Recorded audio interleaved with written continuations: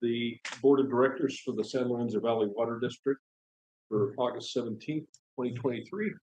I'll use take roll President Smalley, here. Vice President Hill, Here.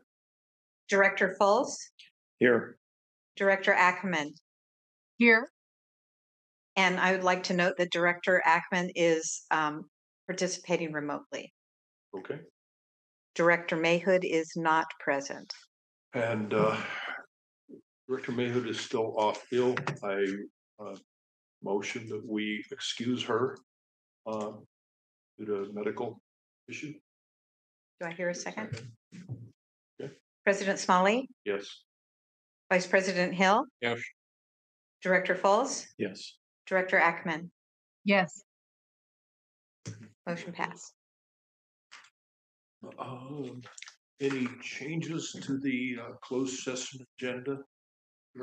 Staff have none, sure. Okay. Um, oral communications, um, reserved for members of the public. On items, um.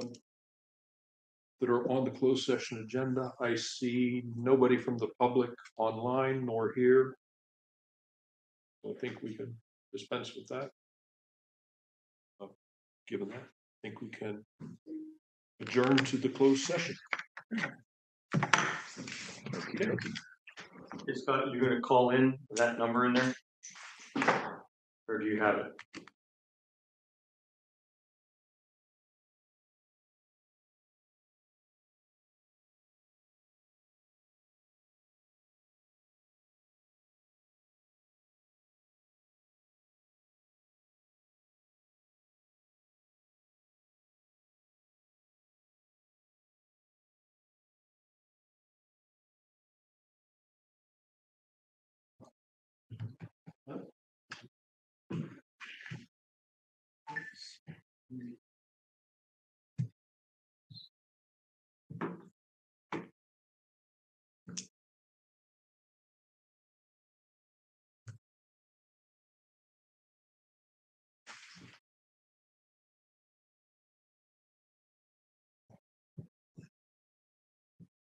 I have six thirty, so I'd like to reconvene this meeting of the Board of Directors for the San Lorenzo Valley Water District for August seventeenth, twenty twenty-three. Holly, we can take roll again.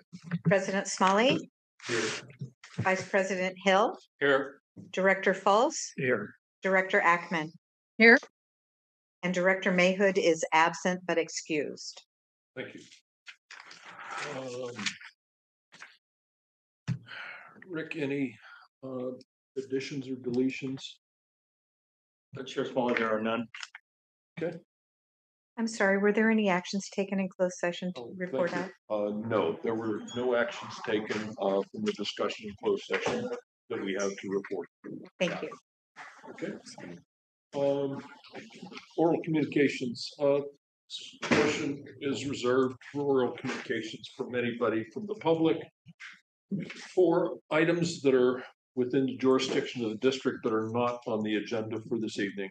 Um, and I'd like to, uh, remind folks that, uh, uh, to presentations may not exceed, uh, three minutes in length, uh, during this oral communications uh, or during comments that members may have during any of the items that we have coming up.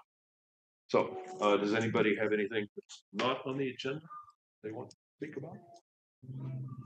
Seeing nobody here, uh, nor from our attendees online. So if we can proceed. Um, New business, uh, the uh, exposed uh, infrastructure on uh, Brookside Drive. Rick? Uh, Thank you, Mark. This is, uh, again, a carryover from our, our last board meeting. Uh, Staff recommends that the board review and comment in regard to Brookside Drive, the winter storm damage uh, main replacement project in early January twenty twenty-three. Several culverts along Brookside Drive in Felton uh, became clogged by uh, extreme winter uh, runoff and debris during an atmospheric event. Uh, the clogged culverts uh, redirected uh, the winter runoff from Shingle Mill Creek uh, onto the roadway, washing out uh, portions of the roadway, uh, blocking access to many homes. When the road uh, erosion on the road occurred, it also um, damaged and exposed the district's two-inch water main located in Brookside Drive. Um, staff responded, restored temporary water service to the homes impacted. As part of the overall storm damage, the district submitted a damage claim to FEMA.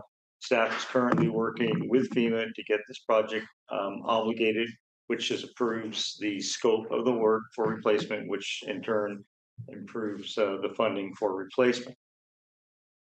Uh, the damage to the road uh, washed out, exposed the main in multiple locations, and there was some uh, breaks at the west end of the road. Uh, the proposed replacement and repairs will be uh, replace approximately sixteen hundred and fifty lineal feet of exposed damage main with new fully restrained eight-inch ductile iron pipe to include excavation, bedding, pipe material, um, and appurtenances, valves, fire hydrants, etc. Um, the permanent repair costs, uh, including, uh, engineering, surveying, and environmental review, and the installation of the mainline is estimated at eight hundred thousand. Um, District Engineer Josh Wolf made those estim, did this estimation from projects that are in construction now, our latest and greatest figures, um, that we have.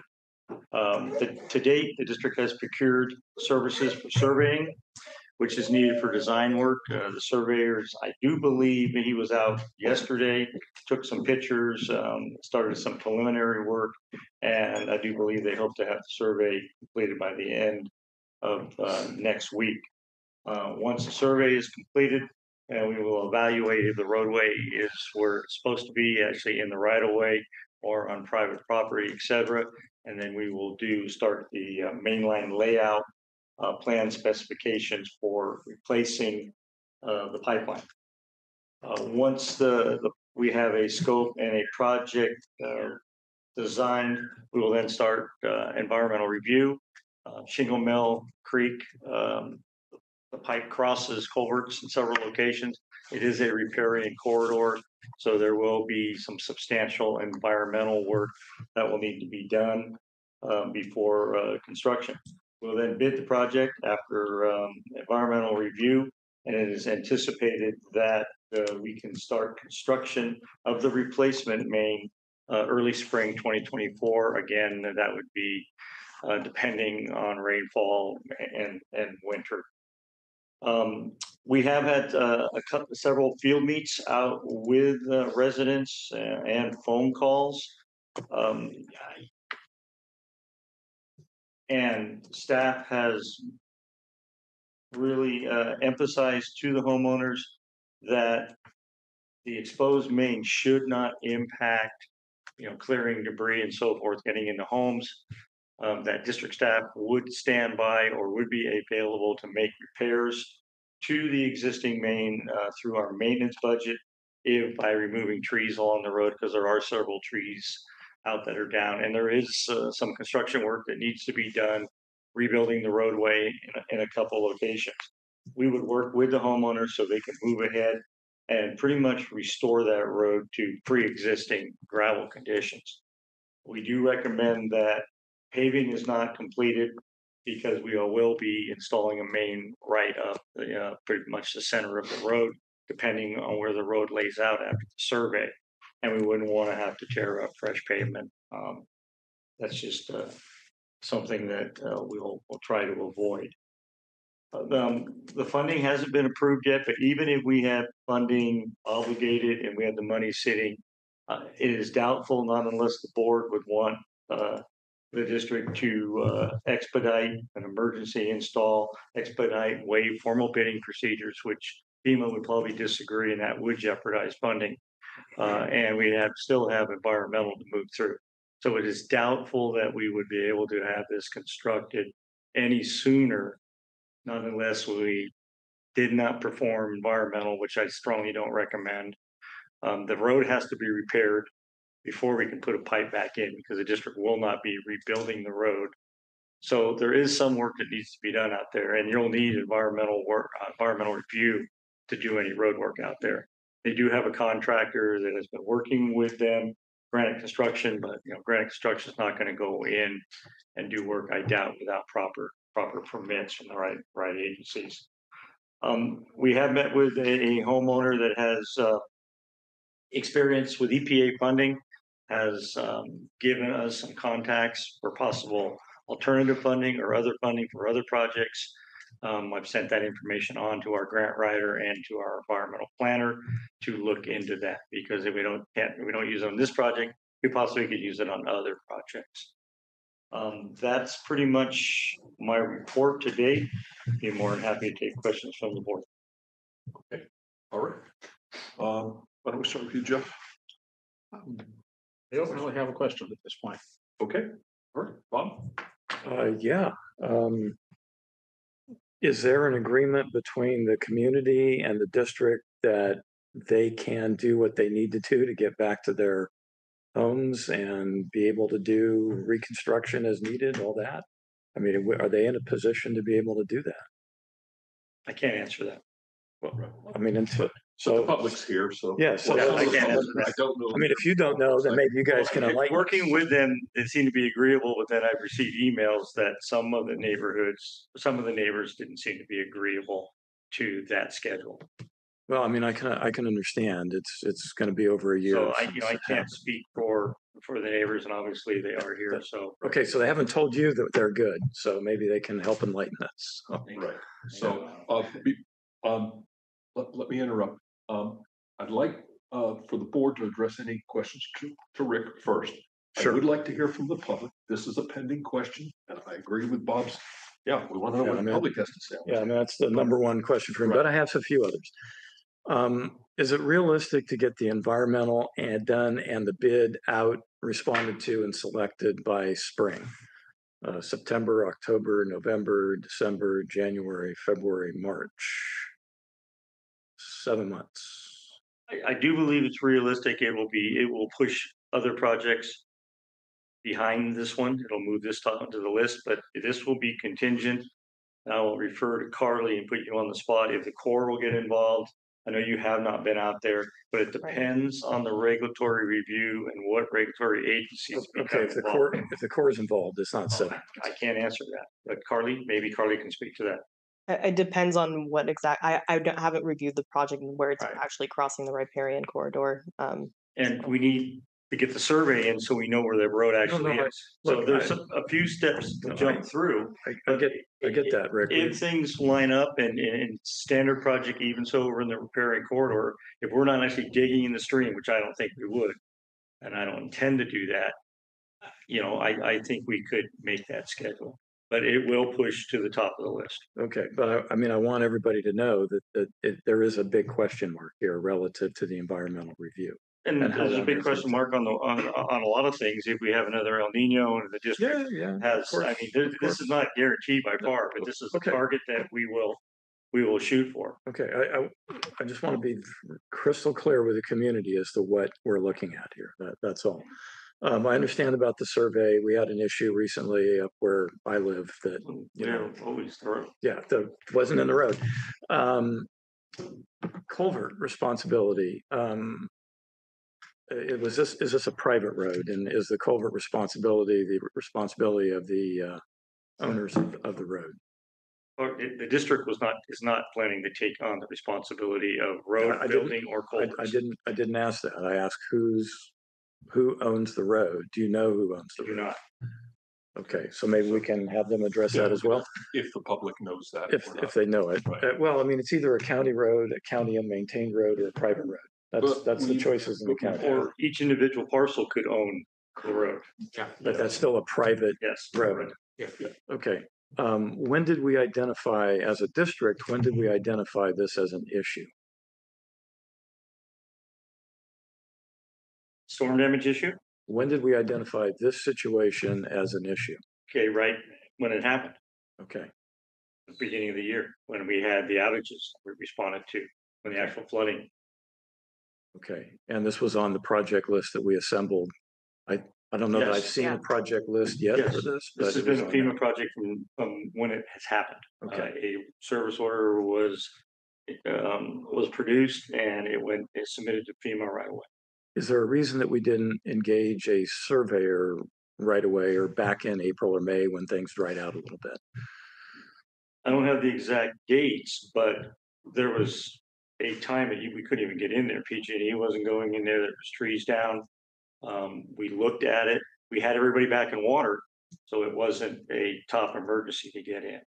Because folks were restored in water relatively quickly. Okay. And uh, what kind of risks do we think are going to be to the pipe if they do what they need to do, taking out trees and that sort of thing? Are we looking at effectively having to replace? There, you know, there's, the pipe looks like it's located where it's exposed in the center of the road, so that when vehicles travel, but it, it depends. It, it potentially could get damaged, dragging trees and so forth. It's a small main. We will move right in and fix it for the maintenance budget. Okay, and by right in, that means like same day and Same as day, it's same reported. day, and hopefully hours. Yeah. Okay. All right, great, thank you. Okay. Um, One of our board members is participating um, remotely this evening. Jamie? Any questions on this?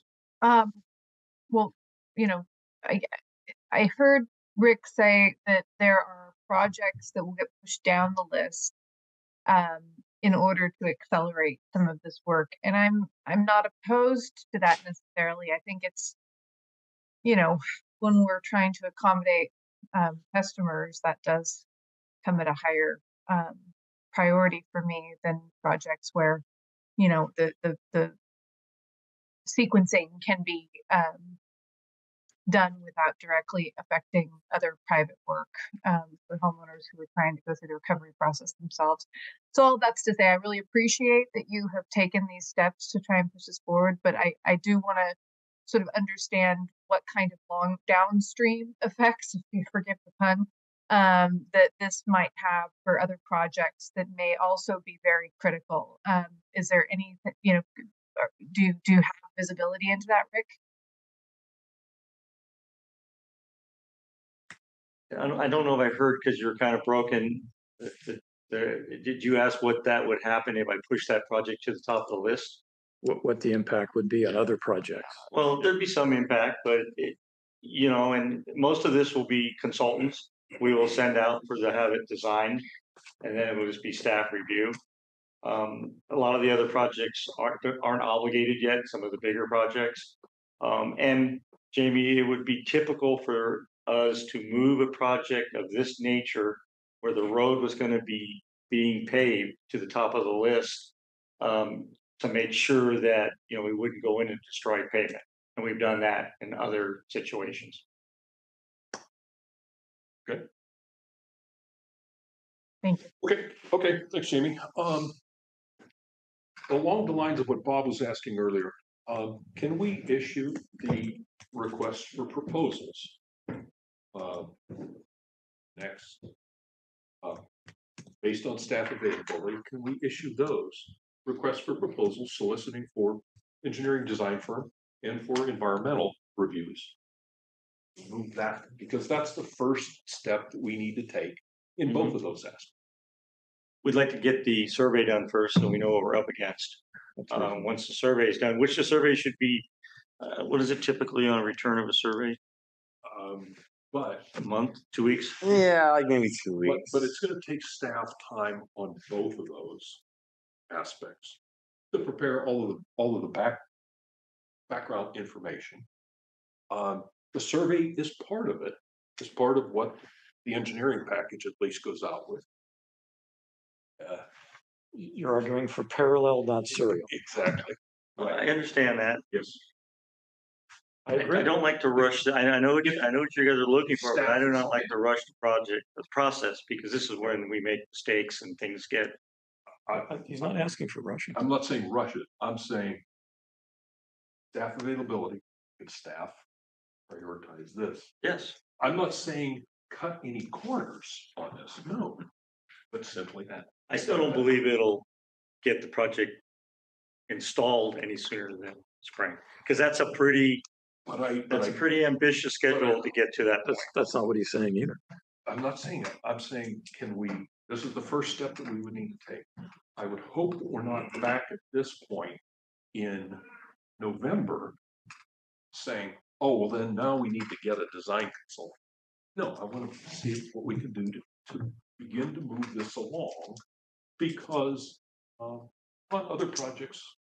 That are of a more, uh, pressing nature. It, Right. it can take us a while, so can we get based on staff availability, can we get those procedural aspects, issuing the RPs. We can try. That's, that's where the staff time comes in to start doing that, and that's what is our Yes. problem right now. Yeah, they're working on other staff. Okay, So we have a considerable construction project going on with strikes, staff right now. Okay, all right. Um, I did see, uh, mention in one of the emails about the possibilities of, uh, some other federal funding aspects. Uh, They mentioned two specific ones. Can we get our grant writer involved? Already have, sent, already sent that email out to both Okay. Carly and our grant writer to investigate. okay, all right. Just So, as, just as long as it's not USDA, uh, type, uh, funding. so can we hear back from that at a subsequent board meeting? then, Just on the what the status of that is. Okay. Um, and then, um, you're going from two inch pipe to eight inch pipe. That's correct. Tell us why. Higher flow. Okay. Good, that's what I expect. That's, uh, Okay, uh, those are all the questions that I have. Um, so Bob, you asked two questions that Rick had to uh, beg off on that we think that somebody from the public can address. Um, I'm looking for customer satisfaction, I- uh, results yeah, here, right? Yeah, that's, okay, uh, so based on what, uh, discussions Rick has had with you at this point. Uh, does this sound reasonable? Because I think what I'm hearing is. We can go do other work in there. With Getting a tree off of somebody else's house, we can be there, repair the line. Does this sound like an acceptable approach? And Okay, Or- um, Or the best of you the, took the lead last time, all, thank you. or the best of the worst Well, approaches. Thank you for your questions. please, uh, if you can go to the mic so Oh, that, uh, because I don't know how well your voice is then heard by others. Hello. Yes, And may I ask you to identify yourself and where you're from? Yes, my name's Chris Keller. I live at eight nine nine Brookside Drive. in Felton. This is Ed Kofi and Steve Farrow. And we were here two weeks ago. We're three of the twelve. Um, so we speak for all of our community. And this timeline is frustrating for a lot of them. Uh, four of those um, still cannot access their homes. Two of them have the trees still in the home. Uh, so for those folks, uh, this timeline is outrageous, uh, just because it's been eight months and we have spent eight months trying to get this onto Rick's, you know, radar. Um, unfortunately, it took coming here two weeks ago for him to return my phone calls. So when my neighbors, uh, hear his timeline about spring, they are livid because they are renting in, in rentals. Um, one gentleman, 75 years old, has been going every weekend and chiseling that tree from his home because he can't get a crane or a crew up there. And so that's frustrating for, for him. That's frustrating for all of us. Um, so the timeline is, um, I don't know. It's it's it's disappointing uh, that we've wasted so much time and that we're almost in, in the winter again. So they're all concerned that this is just going to happen again. So um, one point about the environmental, um, I know Fish and Wildlife is expediting permits as it relates to disaster. And this is, um, we received FEMA funding through the four six eight three disaster. We're currently um, applying for four six nine nine to get the funds to do all of this. Uh, but they are expediting permits. Uh, this is Ed, he is the one that works. And, well, I didn't know if you want to tell them your title. hold on, so, Before you go- And and I would like to respond to each one and not as the group yes, to these. Hang on a second, hang on a second. A- And who- who owns the road and is it a private road? It is a private road. Okay, so the culvert So- maintenance would have been Homeowners? homeowners? So that we have been doing that because the district, you know, does not come when we have a clogged culvert. So we hire someone to do it out of. Sorry, which district? Not our, it's not our road, so we Yeah, would. so it's, a- it's a private road, and Right. we understand that, that you guys actually don't have responsibility over the culverts. Okay, thank you. The you. pipes, Right. right, so that's, that's what we're speaking to. Okay. Um, the culverts are under the, the, what we would hope granite construction would do is to sort of reinforce those culverts. Okay, I'm thank sorry, you. would you identify yourself, please? I'm Ed Coffey uh, at nine five six. Okay. So, uh, Well, just, Rick, you, yes, please respond. I respond. mean, I, I have, you know, I understand their frustration and they wanna get this done, but the pipeline didn't preclude you guys getting to your home, didn't preclude you guys moving in and removing trees and so forth. No one, I asked Josh Wolf, our district engineer, our past district engineer, he was working with several of the homeowners on moving this project forward, and to say that we kept you and keeping today people from entering their homes. It's just not true you can get, I drove up to the last house and he met me out front and said, yeah, I can't get propane. I understand that. But that's not from our pipe. It's from the road washed out. They won't go around the trees. I've, I've been up there and I, I sympathize, but I don't, I think we should make sure that we have straight facts. Don't tell the board and, and me that we're stopping you to get, get home. That's not true. You can drive in and you break the pipe, we'll fix it. The pipe is not that bad. It's exposed, it's not up to standard, and yes, it needs to be replaced. But we're not holding you back from fixing the road, fixing culverts. We'll work with you. Yes, but why didn't you tell us this eight Well, months I ago? had, Josh Wolf was working with you. Yes, and I met with Josh. Yeah, uh, and so we were working, we were working with you all to move this ahead. And we'd have a lot of projects, and I'm not saying that, you know, that your project isn't important. But we had you in water right after it happened, We made sure you were in water, Yes. and then the next is to move in and do the repairs. So I, I mean, I, I think you should work with us a little better. And don't come in and tell me that I'm stopping you from getting home or getting the trees out of the houses. Your area was hit the worst I saw. That Brookside Drive took it hard. There is no doubt in my mind. And we want to get in and, and replace that pipe. But it's gonna take a little bit of time for us to do it. When did you first see Brookside Drive? Now, the car was in the hole still, when I was up there. So that was three weeks ago. So whenever that uh, was, I was up there. One of the neighbors got a bobcat and moved trees. Yeah, and no one was restored- there. I mean, I didn't talk to anybody. Then the next time I went up, I talked to the guy that lives at the, the end of the street. Right. And Josh went out there and the, uh, the director of operations went out there right after the fact. And Josh put together a project description for FEMA. I- You know, I, I know you guys want to get this done. I don't blame you. But we do have a process to go through.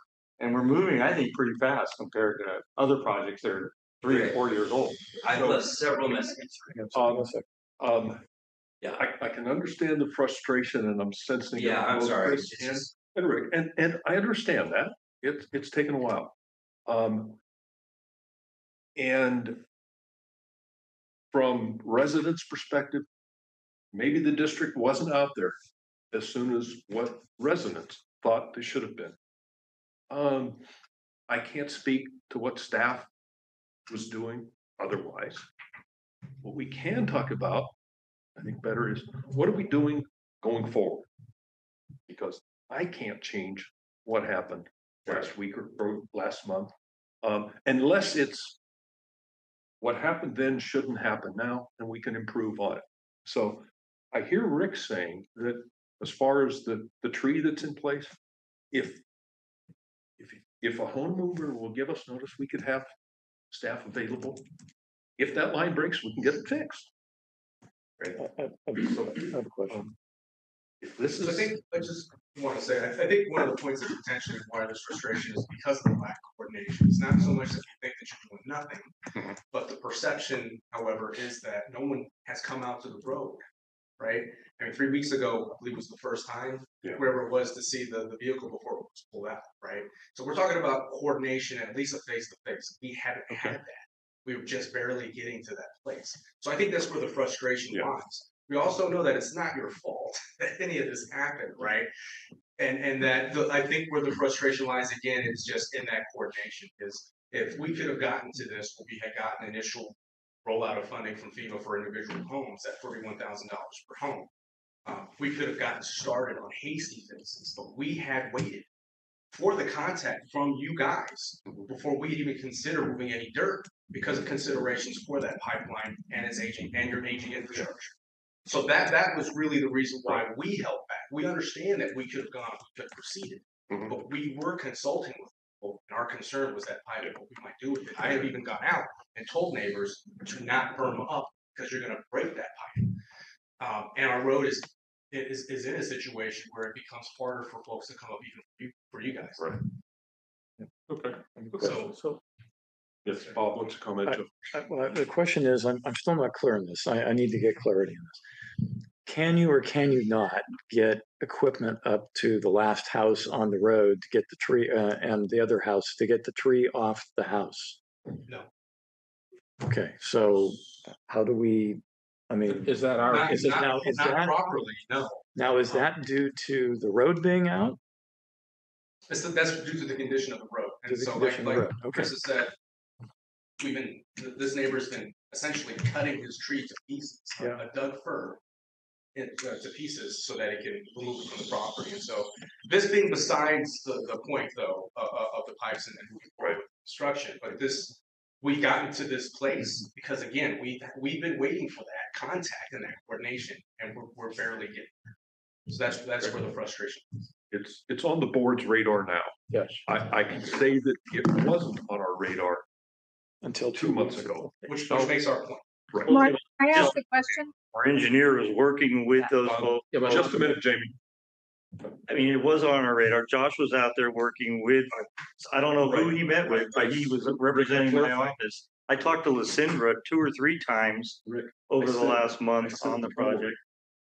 I, I just mean, I, I don't think you're getting the right information. I wasn't, I wasn't aware, the, the, the, I wasn't aware. I didn't know anything was going on. Right. I don't think the rest of the board was to this degree. To I have. I have one question for you gentlemen. Um. We have three of you there representing your neighbors, and I'm assuming that the rest of, most, most of the rest of the people are, here are also your neighbors. Have you, as a group, designated a person to be the primary contact so that Rick has someone that, Yes. okay, Yeah, that's me, Chris. Is, is that Okay. your understanding also, Rick? I've been contacted by several different people. okay, so I think one, And one I, way. I don't know if it's an actual road association or it's just, Okay, usually if it's a, a road association, there is a designated person. In January or when the storms hit, we established Chris as that point of contact. yeah, so, so in a situation like this, it's best to have contact point, contact point, and you Yeah. represent your contact people and you represent the district. And that way we keep the communication straight and we don't have But we people can't- we saying, well, somebody was out here with a truck last week and I don't know what he wanted it and. to hold our neighbors to that. We Yeah, have, frustrated. we, we have established Chris as that person, but whoever's making contact with whoever, Okay, we Okay, can't help. I just wanted to make sure that we had a clear line of Um, contact. okay. Uh, Jamie, you have another comment or question? Uh, question for um the speakers. When did you get confirmation of your FEMA funding? Last of it was, uh, May, March, between We, and March. we got our first payments in March. And then they sort of rolled in after that, so. Yes, in March, I mean, the other, the March other, through May timeframe? Yeah. I mean, the other aspect of this too is the fact that with inflation the way it is, every day that goes by, they're, they're losing money. Right? Yeah. We're, we're taking money out of the pocket. So, so other question too on this, on the FEMA funding. You applied to a special FEMA program, as I understand it, for homeowners associations, and road, private road associations. Are they, private roads, yes. yeah, are they prioritizing those projects over public agencies like us? Because we find FEMA to be very, very slow in, in processing. FEMA, ours. FEMA is, FEMA's only worried about emergency response. Yeah. Um, so I work for the US, Ar- had worked at the US Army Corps of Engineers. I was the Deputy Public Affairs Officer. I'm currently a writer editor for the Environmental Protection Agency at Region Nine. Um, not as big a position in my previous at the Army Corps of Engineers, but I've been on emergency response and I've seen how fast FEMA can respond. FEMA walks up to a certain line, then it's up to the next agency to take it over. So right now you have a situation where EPA should be stepping in, but EPA doesn't step in until you reach out. And I've given contacts at the early, at the earliest point of this, when this happened, with you, WIFIA, CWIFP, the Army Corps, and from the, uh, and from the US EPA. So those things can be expedited given the considerations of the situation that we are in currently. And I'm not talking about fifteen million dollars in a private loan. Mhm. I'm talking hundred million dollars that can be, that could have been delivered to you on low interest as well as forgivable. Expedited. I'm as calm as I can possibly be, trying to be, I'm trying to be calm. Mhm. But again, I've been out of my house on emergency response or a portion two. Well, I can't get help on our road. Mhm. Guam, now Hawaii, right? So this is where we're at. Okay. So I'm, I'm, I understand that there's a, there's a process. But in this situation, I know the process can be expedited. Okay. So Um. You've heard, um, what Rick has had to say at this point, and what our plans are going forward. Um. We don't have a motion in front of us. I expect this is gonna be a, uh, an item that's gonna be on, uh. Future agendas, to update not only us, the board, but the public also. Uh, what is your next step then, Rick? With this, other than the, the survey that you told us about, We'll start with the plan specifications, and the RFPs, the RFPs. okay, Mhm. for those, And and then we'll start, you know, reaching out to regulatory agencies on uh CEQA. okay, And that can be done concurrent, but we can't start the CEQA process until we have plans and specifications, or at least a a plan. right, okay. And that And it sounds like then that'll slow down. That'll go pretty quick to that point, but then it will slow down. And we'll pull, we'll we'll reach out to a consultant, do an RFP and and have a consultant do the the plan specifications, we'll just pay to have it done. I mean, I would, I would hope that whoever's reviewing this understands the situation and would take this to the top of the triage. This is. You know exactly how it's gonna go uh, with these regulatory Po- agencies possi- and that. Possibly, but this is where you start talking about triage on emergencies. If he can't get his truck up there and we still don't there. have. Go out there and drive up to the end of the road. If, if he can't get the truck up there to get the tree off, then I, I don't see a solution here yet. You can't get a crane. Right. Can you get anybody? It's a crane he's talking about, a big crane. Okay, but can you get anybody Pickup of and- any? and- and- Get a pickup up and there. light vehicles up there, but- but but- but wait, I think you've already identified that getting the crane up there is a condition of the road, Right. right? It's not, Can you, can you Height, get, can you right. get It's not Pilgreen or Christensen or a district's smaller Right, truck? up? right. so I don't think that that's an issue. But Well, PG&E just got the their cranes board. and their trucks in there, cause they replaced poles, didn't they? can, Okay. but Not but yet. removing No, the not tree. They Yeah. will. But up where the trees are on the houses, but, but removing the tree, I don't think is something that we no, can. it's not, it's not our responsibility Hang or the hang on, goal. guys, it's not our responsibility. Point of which we're, we're talking about. Right, It's, it's, understand. it's not our responsibility to do, but we're in the critical path on that. If, now, can you get a smaller truck up to, you know, cut it up into smaller pieces? And and- that's what's happened, yes. Okay, all right. Um, so Rick, it sounds like in addition to, uh, complete the survey, get RFPs prepared, uh, you're working with the grant writer.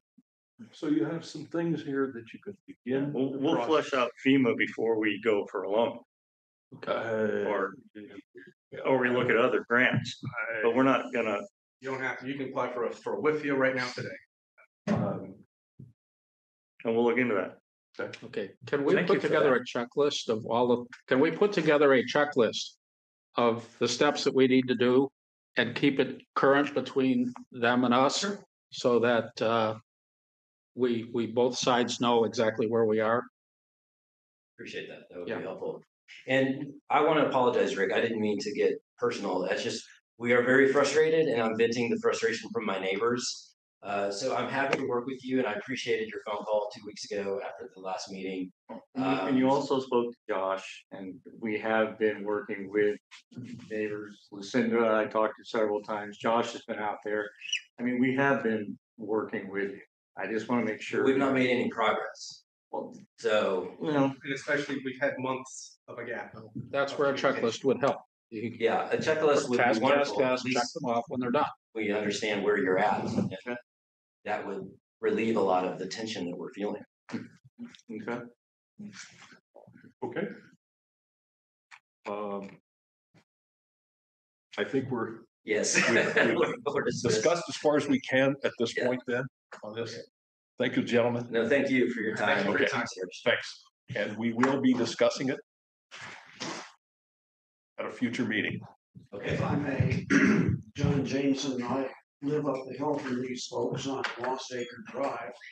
And uh, I envy neither them nor you guys having to work with so many crisis situations, which in the way uh, the uh, uh, world is going may get even more frequent.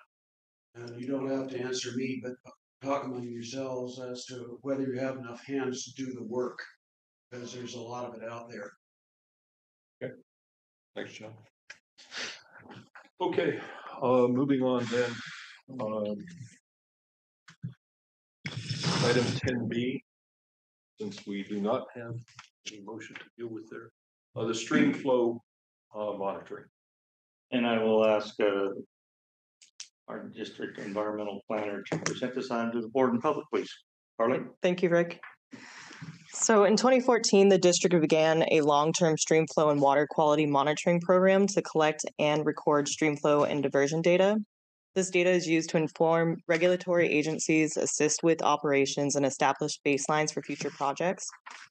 In 2019, the district refined the monitoring program and reduced the number of gauges uh, to only gauge non-op or only gauge operational diversions. Um, so in 20, in April 2023, the district released a request for proposals for qualified firms to complete the 2023, the 2025 streamflow salinity and temperature monitoring operational gauging program. The RFP closed on June 8th, 2023, and two proposals were received. Uh, we received one proposal from Balance Hydrologics and another from CBEC Inc. Eco Engineering, and both are included in the agenda packet for review. Uh, both firms met all the requirements of the RFP and were qualified. Staff is recommending Balance Hydrologics for the contract due to their local experience, history with the district's monitoring and engaging program, and their total budget for the 23-25 pro- uh, program. The cost for the three-year program is 118, 181, and 85 cents, and staff is prepared to answer any questions. Okay, thank you. Bob? looks great. Yeah, I mean, it looks fairly straightforward. Is just from a presentation point of view, it's always great to have a table or something summarizing the financial part of it. I had to go look um, for it, and it looks like Balance Hydrologics is actually lower cost, correct? So that's Yeah. that's actually a you know flashing type thing you want to highlight. So when in your report, um, yeah, I mean they've been doing this for a while and have been doing a good job on it. And yeah, we don't need to do more than we're, more streams than we're doing now. We collected a ton of information during that five-year period. So uh, let's go. Jamie? Questions on this? No questions. Okay, Jeff? No questions. Okay, uh, I have one, Carly. Um, balance includes, uh, fifteen thousand, uh, for contingency. Uh, Who controls that money? And, uh, do we need that? So in the past, we have used contingency for different data requests that we had for balance. So if we needed something analyzed, or a lot of times we're not getting reports back at this point, so we've dropped that off of the the proposal or their budget. So we have gone back to them to ask for that data, and that would use up some extra hours, and that would likely come to Rick for authorization uh, to use the contingency. Okay. So if we're not getting reports on an ongoing basis, which cost us Mhm. having this there instead for the one-off requests periodically. Okay, Exactly. That makes sense there. And it's not, uh, balance has that money already. It's through our request of additional work. We need you to do this. Tell us what this is gonna be. Exactly. All right, that's another, uh, sixteen hours. Okay, okay, I'm all right with that then. Okay, um, then I'd like to move, um, that the board direct the district manager to enter into a contract with Balance, uh, Hydrologics in the amount not to exceed a hundred and nineteen thousand for the purposes of 2023, 25 stream flow, salinity, and temperature monitoring and operational gauging program. So I made a motion. Second, Thank you. Um, it Took me so long to get to the end of that. Um, Okay, but it was a complete motion. correct, it was. Perfect. Yes. Uh, Before we uh, take a vote on that, any members of the public uh, wish to comment on this? Seeing none here, seeing none online. Uh, Polly? President Smalley, Yes. Vice President Hill, Yes, Director Fultz, Yes, Director Ackerman. Yes, Okay, thank you. Uh, moving on, the uh, conjunctive use update modeling.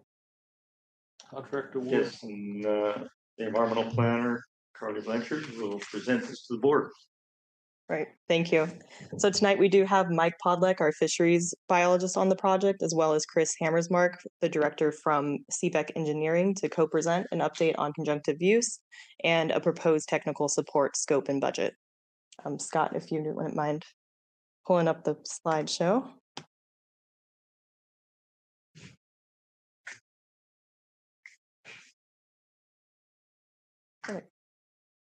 Scott, do you mind scrolling through the slides for me? Okay, we can go to the first slide.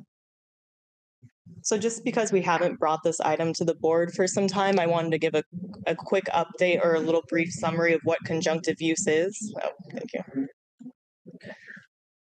Thank you. you're competing. right, yeah. Yeah, so the, the, this first slide is really just an overview of what the conjunctive use plan is and kind of the history. Um, so the goal is to identify opportunities for improving the reliability of surface and groundwater supplies throughout the district's jurisdiction, uh, while also increasing stream-based flows for fish. Um, as part of the conjunctive use plan, we created two supporting documents, the water availability assessment and the fisheries resource considerations assessment. And uh, right now, the district is working on an environmental impact report as part of the CEQA analysis. A few years ago, uh, we did complete an initial study. Um, however, we we received some concerns and decided to move into an EIR or the environmental impact report. So just as a review um, of, of the water availability assess- or analysis, or the WAA as we call it, uh, this document looked through 24 conjunctive use scenarios for the district.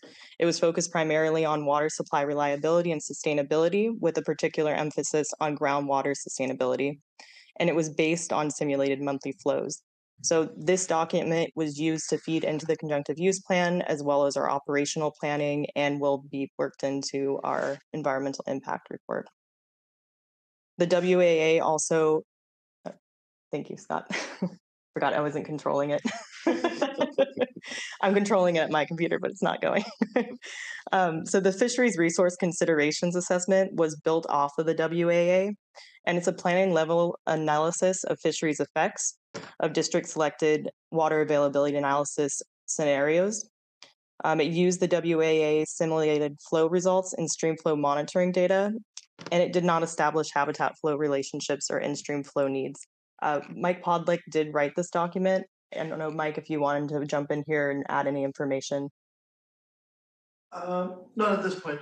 Okay, perfect. All right, next slide. Great. So just as a, a overview of the existing operations for the district, We have a north system that only uses or that uses both surface water and groundwater sources. We have our south system that is groundwater surface source only. Sorry. And then our Felton system is surface water only. And we have emergency interties that run between North Felton, North South, and then south to Scotts Valley Water District.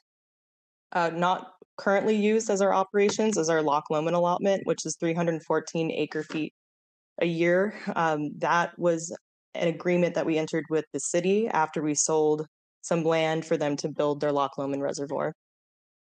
Um, we also do have a water right in Lompico or Zayante. Uh, however, we did file a petition to dedicate that water back to the stream. Um, that's a 1707 petition, pet petition that we submitted. So that is in process. Next slide. Um, we just went through this on the last item, but we are working on a stream flow and temperature monitoring program. Um, it's been a five-year of extensive gauging from 2014 to 2018, and that included agency input and annual updates. Um, this really did capture a broad range of water type years. Uh, we had very wet periods and then very dry periods within that range. So it's a really good summary of what it looks like in our operations and our diversions, as well as our streams. Um, it's also included water temperature effects analysis by Don Alley, another fisheries biologist in the area. And then we did reduce the scope in 2019. Um, and we also had pretty limited data in the past few years due to the CZU fires and then our 2023 storms. We lost gauges. Uh, we did put them back after the 2020 or the 2020 CZU. However, we did have the big storms that took out most of the gauges again.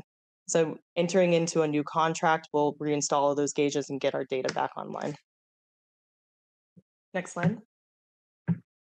Um, so the review uh, or the revised conjunctive use project description from the initial study, we have updated or changed a few of the project uh, needs. So right now, we're looking at taking our interties and making them usable for non-emergency use. Uh, so that'll be analyzed in our environmental impact report to understand what those potential impacts are. We're also looking to understand what the transfer of unused potential diversions would be throughout the district and what those impacts could potentially be on our streams. And then we also are analyzing the Loch Lomond allotment and how that would fit into our system, how we would bring it into our system, and how we would treat it. Uh, we are in the process of releasing a Loch Lomond feasibility study RFP or uh, request for proposals. And hopefully we'll have that back soon and that'll give us more information on what we need to do to upgrade our treatment plants, as well as where we would tie in with the city of Santa Cruz and tie up some discussions we need to have with the city as well. Mm. Another piece is we do need to change our place of use for our Felton water rights. So right now, our water right only allows us to use Felton water within Felton, and we'd like to be able to move that throughout the jurisdiction of our, our water district. Not included is the changes to the big trees gauge uh, water right restriction that we have there.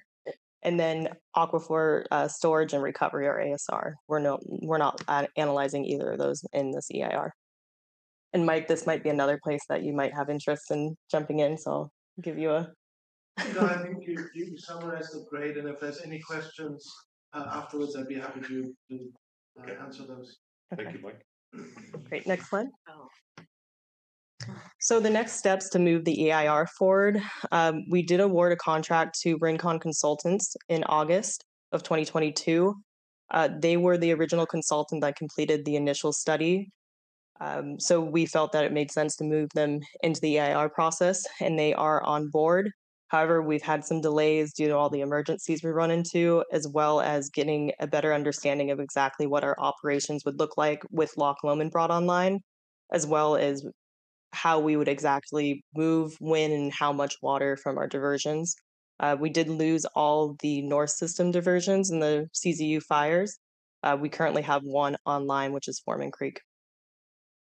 We're also working uh, right now to model some different climate change impacts, as well as understand what the impacts could potentially be to the city of Santa Cruz operations by increasing our, our diversions during high flows, and then as well as the Loch Lomond allotment and what that would do for their um, temperatures and their HCP that they just went through, or their habitat conservation plan. Mm. And uh, we originally uh, brought Rincon on to update the project description at a thirty thousand um, purchasing authority, and then awarded them the contract in August. Just as a side note. Next slide. Um, we've recently brought on CBEC Eco Engineering to help us get a better understanding of what we would need to do to complete the EIR, including water right place of use changes and associated water diversion permitting. Uh, we did enter into another thirty thousand dollar uh, purchasing authority under Rick's uh, district manager purchasing authority. the initial scope began the preliminary hydraulic and habitat modeling on Boulder Creek, which is the confluence of Foreman and Peavine Creeks, and streamflow data processing for operational planning, with the idea that the comprehensive scope and budget would be developed based on needs defined upon establishing the work in this initial contract. Uh, since the modeling kickoff, CBEC has proposed the attached scope of work or actually it's in the board packet. Scott, I think you might have jumped ahead, but there we go. Um, the work presented in the proposed budget includes the thirty thousand initially authorized, so we're actually asking for seventy-one thousand six hundred and seventy-four dollars with a ten thousand dollar contingency. And I'll allow Chris uh, to jump in here and explain what we've done thus far and what we would do if the work is completed or the contract is approved. Sounds good. Thank you, Carly. Hi, everybody. I'm Chris Hammersmark. I'm a director at CBEC Eco Engineering. I run our Santa Cruz branch office. We're based down in Seabright. We have five local staff that support your needs as well as many of your partner agencies. In fact, we're conducting streamflow monitoring for Santa Margarita Groundwater Agency. currently. Um, CBEC was asked to provide three tasks. They're summarized here. The first is assess changes in habitat availability and fish passage due to changes in flow on Boulder Creek. The second was to synthesize without project or natural daily stream flow records for use by others in the CUP EIR CEQA. How about that for some alphabet soup um, analysis? And then lastly, we've been asked to um, modify, scale those records to future potential hydrology scenarios with various climate change um, analyses added. And we're doing that. Well, I'll, I'll tell you more about that in a moment. So next slide, please, Scott. So the first task was to look at habitat and fish passage on Boulder Creek. Uh, the previous work that Mike provided um, asserted that the district's diversions shouldn't affect. And the local and the, the regulatory agencies in general agreed, but they said we need something hard to point to to support that that professional opinion. And that's why um, Mike brought us in. And so we are working on a roughly 350 foot reach of Boulder Creek, pretty close to the bottom, right over there. And it is it was chosen as representative reach of Boulder Creek, meaning the conditions there should reflect um, what fish, uh, steelhead in particular, experience elsewhere along Boulder Creek. Um, to conduct this work, we we provided a detailed survey. Next slide, please, Scott. And with that, we were able to develop a DEM of the reach. With that, this just shows you the DEM and the various survey points. Actually, could you go back one slide? Just what we're really trying to get at is the picture on the left. You see a you see a riffle with threads of water going through, and we are we have been tasked with estimating at what point how low does flow have to drop such that an adult steelhead could not swim through that riffle. So that's that's more or less what we're trying to get at. And then you see the pool downstream of it. We're effectively being asked to say how much does an increment change in flow affect the availability of rearing habitat or habitat for baby fish to get bigger before they head out to the ocean. Next slide, please. So first we collected the detailed hydraulic or detailed topographic survey. We use that to build a 2D hydraulic model, which we then are able to run scenarios and evaluate hydraulic conditions. Next slide. So these are some of the preliminary results from the hydraulic modeling. On the left side, we can see that it's hard at this scale. I apologize, but on the left is a lower flow condition, 18 CFS, and it's presenting the depth of water. On the right is 59 CFS and the resulting depth of water. We are currently running a suite of other flows, primarily at the lower end, to analyze at what point the flow through the three riffles that are um, provided or included within our reach, at what point does the depth get less than 0.6 foot deep and narrower than two feet? And those are the criteria that we're, we are, we, work with the resource agencies to identify as, as passable for sealing. So we, we will use the model and then see at what point it would technically become impassable. And then, and then Mike, in doing his fisheries analysis and looking at changes in flow based off of various potential outcomes due to the conjunctive use plan, uh, would any of those affect that? Would, would we get to a point on Boulder Creek where flow dipped below and because of your upstream diversions, passage could potentially be impacted or delayed? So that, that's what we're currently working on. We built the model. We're currently, the model's been run. We're currently doing the analysis and reporting. So we're, we're a good chunk of the way through this particular task. Next next slide. Uh, the next piece is to prepare daily stream flow records to then again analyze how various conjunctive use, um, various alternatives could affect those stream flow.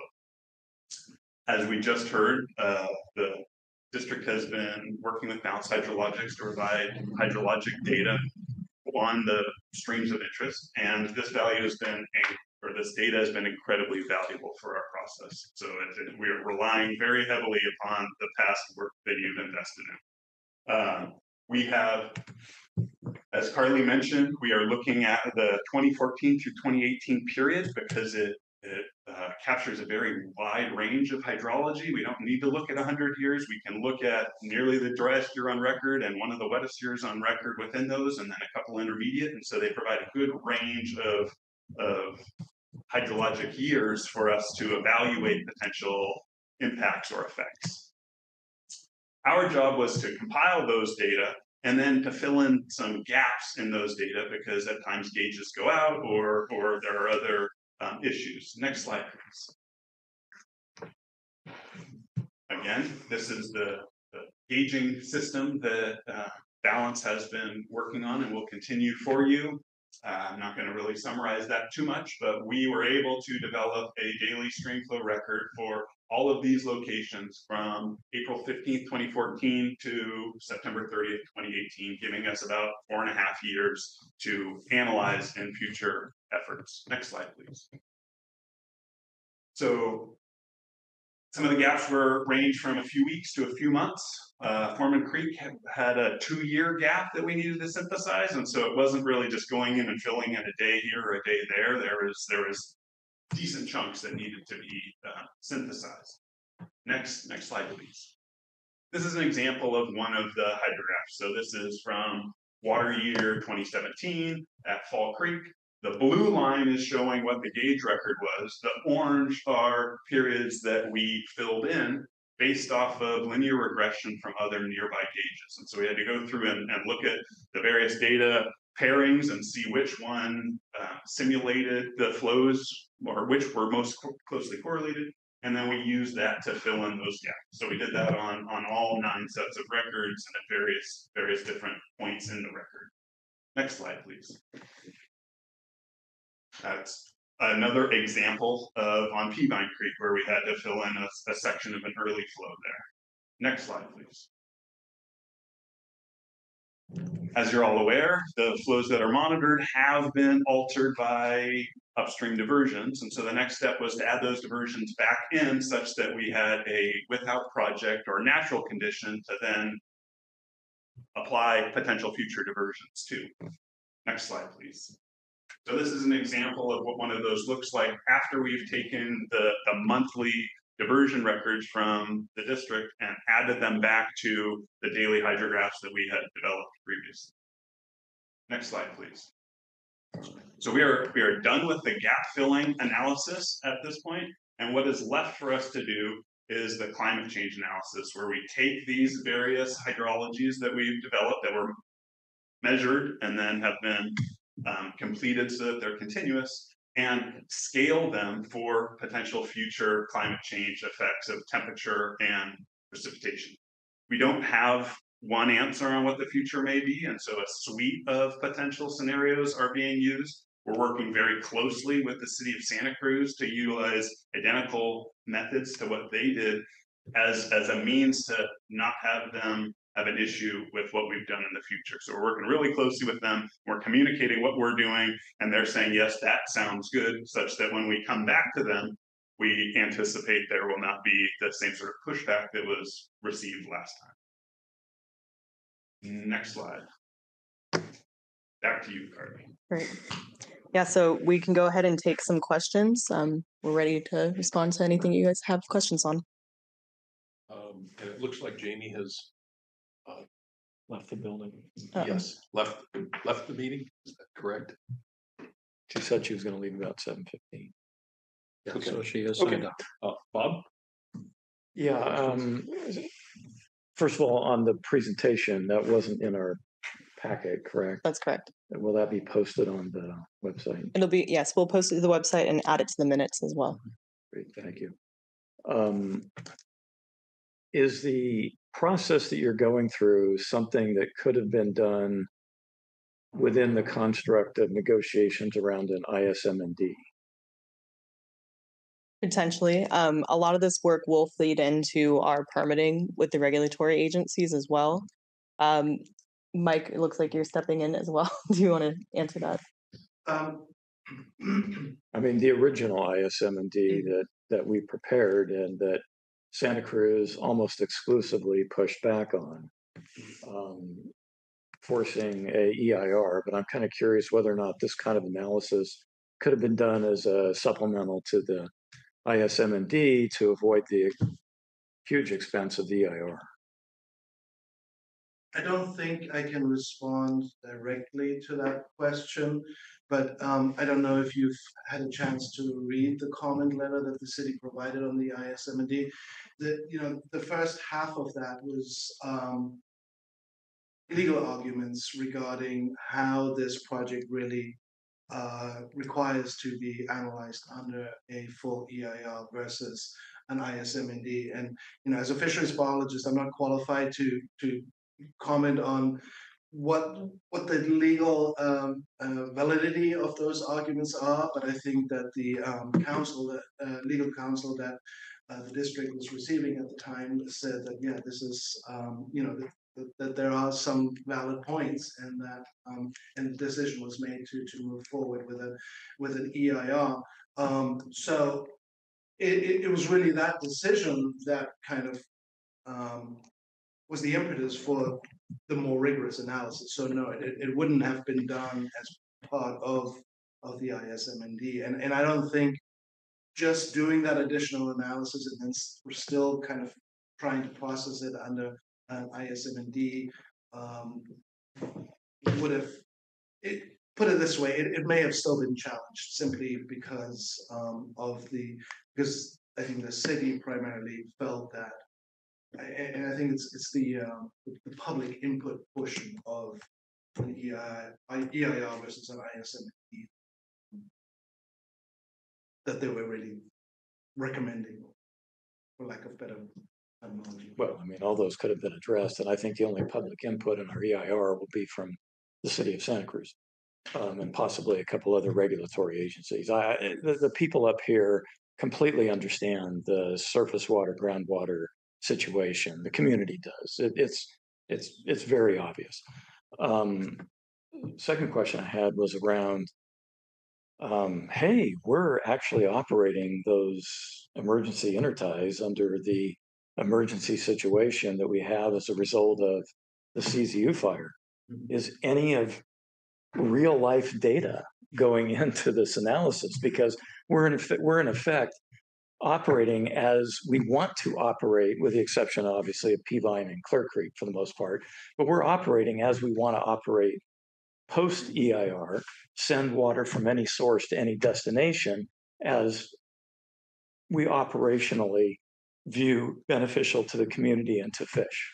Right, and that's correct. We are, so we did take into consideration um, any data that we had that from these emergency situations. We actually used 2019 and 2020, I think, to start looking into our operational uh, planning. So we are using that. Um, as you mentioned, there are some handicaps, right? That we don't have all our diversions online right now. but it is giving us a good idea of what we can actually move from Felton when needed and how we would operate if we had this clearance to move water as we needed throughout our jurisdiction. Yeah, and that's going into what they're. Working Right, it's somewhat of a separate analysis that CBEC is working through, but the climate change analysis will take into that, that into consideration. Yeah, I, mean, and at this point, I understand the diversions outside of the district, but my primary focus is on operating the district as a unified whole as opposed to diverse. Um, I mean, we just got to get much more efficient in how we're using our water uh, sources and staff to support um, delivering water to the community. If I might just uh, add to Carly's response, um, it, it's important though to, to recognize that even though um, the current operations are sort of like a, a, a you know a uh, conjunctive use, a future conjunctive use plan, uh, except that right now there is no 313 acre feet from Loch Lomond. being- Oh, oh, I, I, I'm completely discounting that, Mike. I, I think the costs associated with that so far, the ROI has not been proven yet. And in fact, that was gonna be my next comment slash question is, you know, there was, uh, I think, an article written about how we're making great progress with Santa Cruz. Are there any concrete numbers in place relative to purchasing raw water and treated water from Santa Cruz that could be used as part of a financial analysis before we spend a lot of time and energy reviewing other aspects. Because right now, I, I don't see the ROI given the costs that are associated here. Right, so that Loch Lomond feasibility study that we're hoping to enter into, once we release the request for proposals, that will analyze those pieces, so the cost that's associated with bringing Loch Lomond online. Uh, but these studies are somewhat, Santa Cruz delivered numbers that would inform the financial analysis that would need to be done. Mm. Because the article that was written did not say that. right.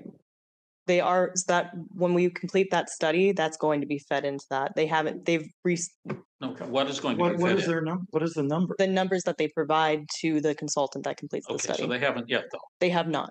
Okay, will they provide those numbers prior to the start of that effort? Because otherwise, we're just barking up a, a tree for no reason. That might be something Rick can answer. Well, Because the article was not specific. well, I don't know what, I didn't read the article. I don't know if It's he one that Mark, one that Mark wrote in conjunction with uh, Mr. Keeling. Oh, okay. Yeah. I didn't know what you're talking about. Um, we're looking at, part of that study, we're gonna come up with several scenarios on the Loch Lomond water, and one will be treated versus raw, and there will be pricing associated with that. But as far as a negotiation goes, entering into a final financial analysis before getting their number puts us at a disadvantage. We can't, we can't move ahead with numbers until we sit down with them and work on numbers. There's a lot of variables, and this study I will work you're- on You're, you're missing his point, though. This- And, and, and I'm, what he's, what he's saying is that, and I, I don't know any other way to put it, Bob, but um, if, Straightforward if we do everything except get their numbers, and their numbers are the last thing that comes in, We're screwed. they have the opportunity to make those numbers whatever they want to uh, We're screwed. affect our plan however we want, or they want. So those numbers need to come first. And then we do the analysis. And then if the numbers don't work out, we can go back and try to renegotiate. But we're not at the tail end where we're basically getting wagged by their dog. That's your opinion. I mean, we're working Well, that's with, the way negotiations work, Rick. okay, So. If you put Um, yourself in a weak negotiating position, you're gonna get screwed. um, But your question, Bob, was, has Santa Cruz provided that? And the answer is no. That's, the answer is no. Okay.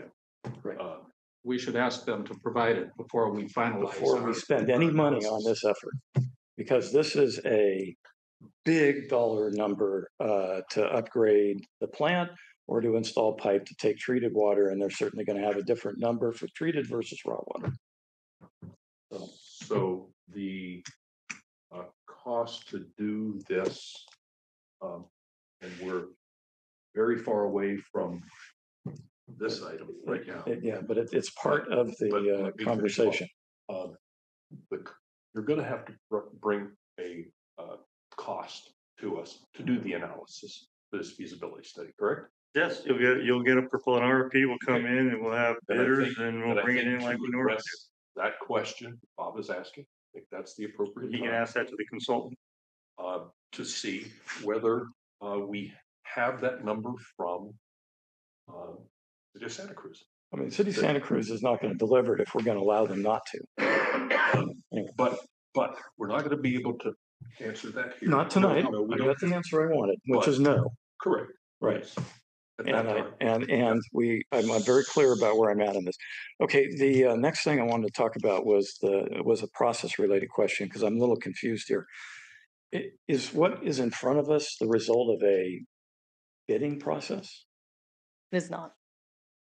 So the purpose of a thirty thousand dollar maximum is not to sort of provide a seed way to not then do a bid later if in fact the project is of the scope that we're looking at now. In my opinion, at least when I was on the Budget and Finance Committee, that was an explicit conversation that we had.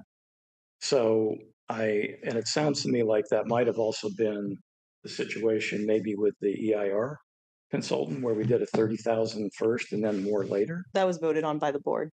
Uh, the thirty thousand. It was. Okay, great. So we, we need to not do these kinds of things going forward because it is a workaround around the open bidding process that is the policy of this district. So, okay, well, I'm glad we have clarity about the process, which is not great. Um, Okay, thanks. All right. Yes, yes. Question? I, Okay. I don't have any, anything beyond what's already been discussed. Okay. Um, did Rincon have any allocation for stream flow monitor or anything else that in their EIR budget? They did not. Okay, Not to do the actual data collection or work, right. the okay. analysis. Um, has Rincon uh, participated in the discussion for this scope of work? Yes, so we did provide the initial scope to Rincon, and I don't know if they've actually reviewed this updated scope and budget. That's a good question. Uh, but they were initially involved with the process that we were entering into and signed off on the three tasks that we had discussed with CBEC. Um, are we doing more than, than what we need to? Is kind of where I'm going with, with that question, uh, with this, with, it'd be great, nice to have this data. Um, but is, is it needed to support their aspects of the AR? Because it sounds, sounds to me like that's why we're doing this additional work. Right. It's to support That's- that EIR. Right, that's one part of it. So that'll actually give us the alternatives to be able to compare to. We'll be able to take these, this data and use it to use as the alternatives for different scenarios of how we operate. But it's also going to probably support all our permitting with uh, our bypass flow restrictions that we'll probably end up with on our diversions. Okay, so it's beyond the IR. Right. It's operational aspects Exactly. also as to where we can be taking water, not taking water. Mhm. Okay. Um. You mentioned, um, unused potential diversions. And that's not a term that I've heard before. What are those? I, I can, I can define that. That- That comes from uh, your previous consultant who prepared the um, water availability analysis. What it essentially means is that for the uh, conjunctive use uh, plan, the district would not be increasing the diversion capacities or treatment capacities beyond anything that is existing. But as you know, your demand goes down in the winter when stream flows are higher because people don't irrigate, e- e- et cetera. So um, you have what what the previous consultant called an, an unmet demand. Uh, sorry, an, an, an unmet potential um, in your diversions in the winter that are, that are not being used. So that is the amount, the additional amount that is available within the existing capacity that could be uh, transferred to the south system for in lieu recharges. Okay, uh, hold, hold- hold a second. But I want to follow up now if I can. Okay. So my understanding though is that mm-hmm. we're already operating, we're going to be using data that we're gathering right now for transferring water to the south system. Is correct? We're, because we're doing that. In the wintertime, we were transferring surface water to the south system. But Are not we from all, factoring- Are we factoring that into this study? I'm not sure I'm understanding your question. So you're asking with our current operations under the emergency, Yes. conditions. We were sending surface water to Scott, our Scotts Valley system. right? Is that being factored into this analysis? Uh, and not treating it as an additional diversion, but actually treating it as this is the way we're going to operate going forward. In wintertime, surface water is going to the south system, always, permanently. Yes and no. So with with the diversions, what we're looking at with the habitat study is really based on what we're taking out of the streams, right? Like we're we're trying to fi- understand what our diversions are and how the diversions are impacting the stream conditions. Mm-hmm. Where the where we're operating what the south system moving water from Felton, it's somewhat separate, and we're also don't have all our diversions online. I'm not sure I'm capturing what you're you're Well, asking here. I mean, we do have some operational experience with sending surface water to Scotts Valley. If we're not factoring that into the study, I think we're missing. Well, it'll be factored into the EIR, but it won't necessarily be factored into the study that CBEC is working on right now for Boulder Creek. Um, the typical requirements, both under CEQA as well as uh, state and federal permitting for, for, for water diversions, if, if you're changing some operations. And, you know, granted, the, the, the operations you're, you're discussing now, they're, they're current operations, but they're very recent uh, operations. So in an EIR or in a permitting environment, you need to provide a wide range of water year types and show what your proposed future operations will do to those uh, diff, to, to stream flows and therefore fisheries resources during those different water year types. So we we we would definitely you know take into consideration this period of you know 2020 CZU fires through now as to what um, what you've been transferring to Scotts Valley residents, or I guess it's not Scotts Valley, but the South uh, system. But but it but it's it's still just a snapshot in time, and it, it won't.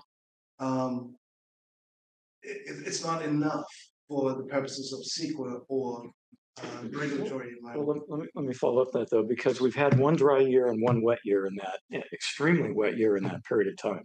We're likely to be in this situation at least for another year or two. Um, maybe we'll get lucky and we'll get a twenty fourteen to twenty eighteen type situation where we have, uh, you know, a moderate year here coming up.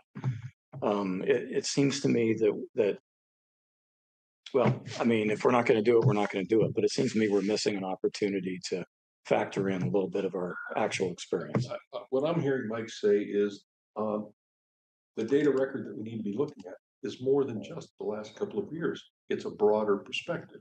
So, um, But, but, it- but, but the, the thing he, they talked about earlier was having four years where you went from dry to really wet in that period of time. It wasn't a long period of time, it was four years. And that's the proxy that they're using for the analysis. I, I, I think another way of, of responding to you might be that, um, because I think you, you, you have a very good point in that you've been able to rely on the Felton system more heavily during these last two years. Sure. And still with, stay within your bypass flow requirements, et cetera. That is definitely something that, that will figure into the analysis. But, but again, it's, it's, it's a two-year period. And I, understand your, um, reservations or concerns or questions about Loch Lomond, but it is still, that is a big chunk of water that whether or not it is included in the mix of water sources that you're dealing with completely changes what would be taken from Felton or the North System or the groundwater system. It, you know, you, you, you- you're suddenly adding over three hundred acre feet per year into a system that currently doesn't have those three hundred. About fourteen, about fourteen percent of production. It's not what I call massively material. Um, I, I, I'd like to, uh, see if we can segue away from the Loch Lomond aspects. I wanted to focus on what's in front of us here. Loch Lomond will be coming up, coming at some point. And I do have a couple of other specific questions to this that I'd like to get back to. Um, similar to the last discussion we had, you've got ten thousand dollars contingency here. Who controls the contingency? It would be Rick Rogers, the general thank you. manager. Thank you. Um, I think that's all of the questions that I have. I don't see Jamie back. Um, so I will proceed then. Um, I'd like to move that the board, Can we, do we do? can- oh, no, I'd like to put a motion out there first. Thank you. Um, that the board direct the district manager to enter into a contract with CBEC um, engineering in the amount not to exceed hundred and one thousand, six twenty-seven for modeling and data analysis to support, uh, the conjunctive use environmental impact report. Second. Okay. Uh, anybody from the public want to comment on this? Oh, do it, Bruce. Hi, uh, I'm Bruce Holloway from Boulder Creek. Um, I don't really want to comment on this item, but I wanted to comment on the discussion about, uh, the Loch Lomond water. Uh, and I guess my, my, my comment really is, there was a feasibility study already done in twenty ten. And I always felt that the missing piece was how much would the raw water cost from Santa Cruz? Um, and I guess I can imagine two simple scenarios. One would be that the district taps uh, the pipeline in Felton and then treats the water. And the other would be uh, that Santa Cruz uh, continues to treat hundred percent of the Loch, Loch Lomond water and then some of it gets shipped up uh, to, to the south system in Scotts Valley via the pipeline that's being built, I guess. Um, so there's two, at least two numbers. Uh, but ultimately, the city's, um, does not, the cost, the, the city is gonna charge based on their cost. So I think there's a financial issue here. It's not just an engineering issue. I assume that the feasibility study is gonna come to the engineering committee. But this question about what the city is gonna charge is a financial uh, question, and so our finance director is gonna need to have insight into how the city arrives at their cost. And of course, the real cost is some years in the future. Uh, and so anybody trying to project years into the future uh, is not necessarily gonna come out the way, you know, when, when that time arrives, it's not necessarily gonna be the cost that, that they calculate today. Um, so anyway, I guess my point really is that our finance director needs to have insight into the city's finances and how they arrive at their costs. Okay, thank you. Um. Not seeing anybody online with any comments. Uh, Holly? Hey, hang on a sec, just one question. So I- I'm pretty upset about the fact that this did not go through a bidding process. Um, if I were to vote no right now, I believe it would fail. I don't think it can pass on a two to one. Is that correct? Um, I would question counsel if she would answer that. You know, I am not gonna be able to answer that question without looking at your formation, because I don't know if you require a majority of the five or a majority of the present. Bruce? I, I, I agree with, I agree with Bob's take on this, that. Okay, okay, so I, I'm not gonna do that this time, but the next time this happens, I'm gonna vote no. Because we gotta get out of this Okay. process of cherry picking and moving things through in this fashion. We're doing it way too often. And it's not the intent of the policy that we have in place. Okay. Holly? President Smalley, Yes. Vice President Hill, Yes, Director Fultz. Yes.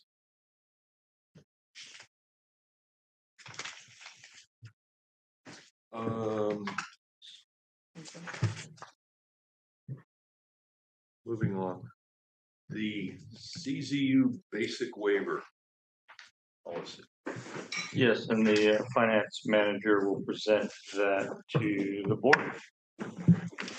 Okay, so um, as we all know, in August of 2020, the CZU lightning fires um, severely impacted the district and its customers. 113 customers lost their home and were placed into the district's basic waiver program. Uh, what the program allows is for a waiver from the monthly basic charge for a period of up to three years from the date of the natural disaster. Uh, for these specific customers, the start date of the waiver was August 18th, 2020, and the end date is August 18th, 2023. Due to the difficult and lengthy process of rebuilding and permitting with the Santa Cruz County, district staff are recommending granting an extension of two years to the customers affected by the CZU disaster. Uh, this item was brought to the July 11th Budget and Finance Committee it was first recommended to grant an extension to the customers that were in the rebuilding process, as a lot of the lots and properties are up for sale and most likely will not be rebuilt. Um, the discussion concluded that the district is granting an extension to one C, to one CZU customer that should be all or none.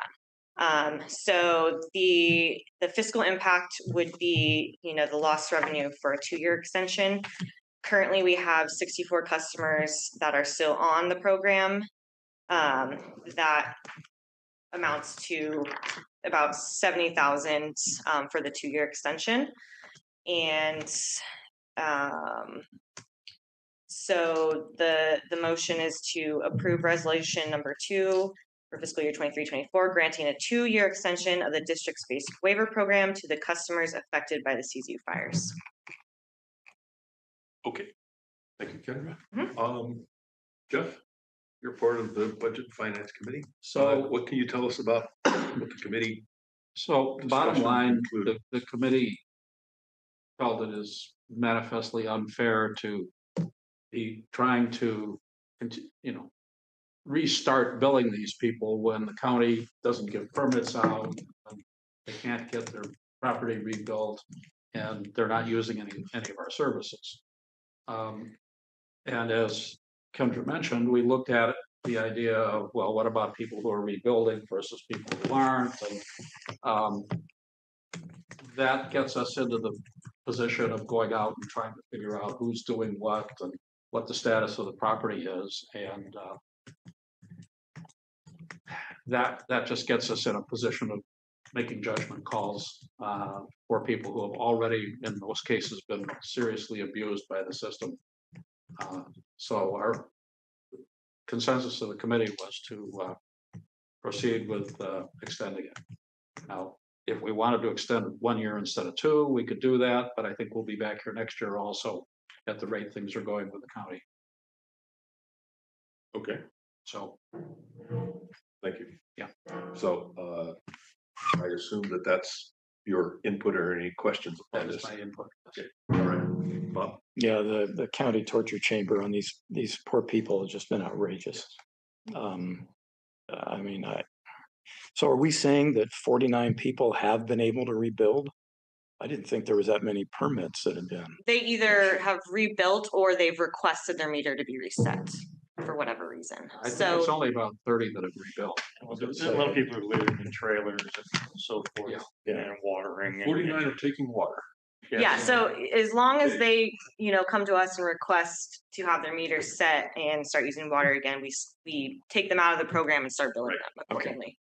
So, um, Yeah, I mean, this is a no-brainer. I'm glad you guys came up with that. Anything else would have been a, a no-go for me.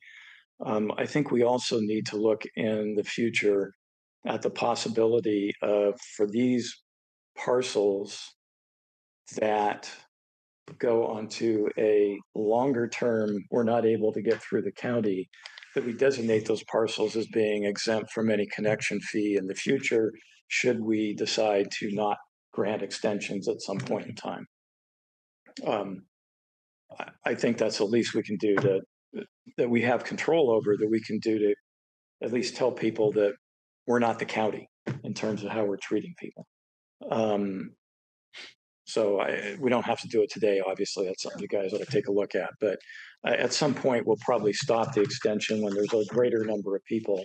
And at that point in time, I would just basically say we're gonna waive. Yeah, and we're gonna get down to a handful of them at some point. It'll be twenty houses or, or Yeah. twenty properties. And they may be properties that aren't even being rebuilt or. Yeah, but I still think they need to go on to that. Okay, so great, uh, thanks for doing this. This is only fair for the people that have suffered so much.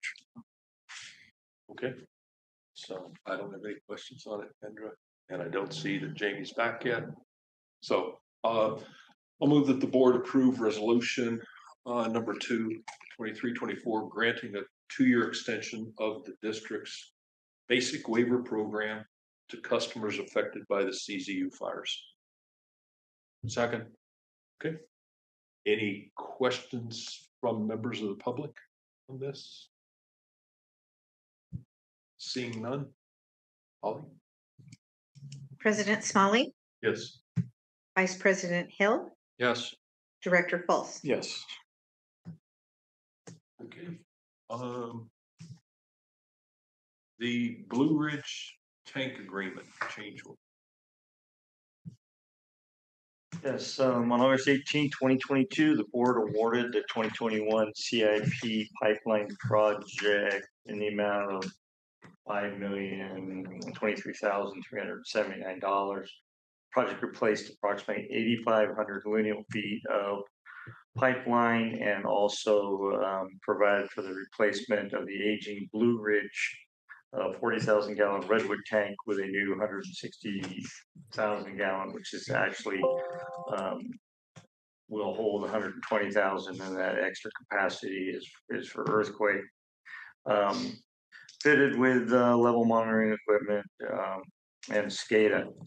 Uh, the Blue Ridge tank replacement project specifications were included in the construction contract. However, at the time of the award, the State Water Board was still reviewing tanks design.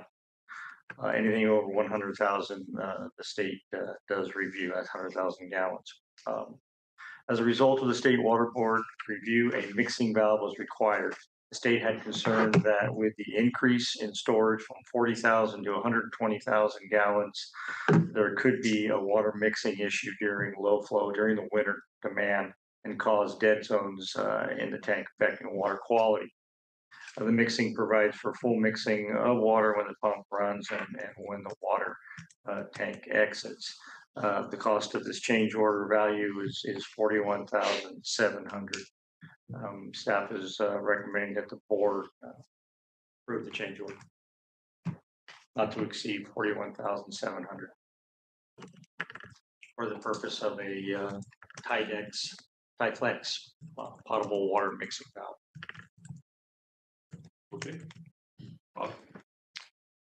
Yeah, a couple. Um, is this a, um, device that requires maintenance? That is, it's got moving parts, or does it have moving parts that's gonna require maintenance and does it? No, it's uh, it's piping with duckbill flap uh Okay. valves, and then it has check valves. Okay. Yeah. Great. Yeah, I mean, when I hear the word mixing, It's, they're orientated sideways so that when it fills, it mixes. It causes a rotation. They were used on the Lompico tanks projects. Yep. Yeah. Um, second question, are there any people that have low pressure that will um continue to have low pressure with a new tank? That is, anybody that's at an elevation that does not grant, give them sufficient pressure for this tank? Yes. Are they getting a, are we doing a pressure um increase? No. Okay.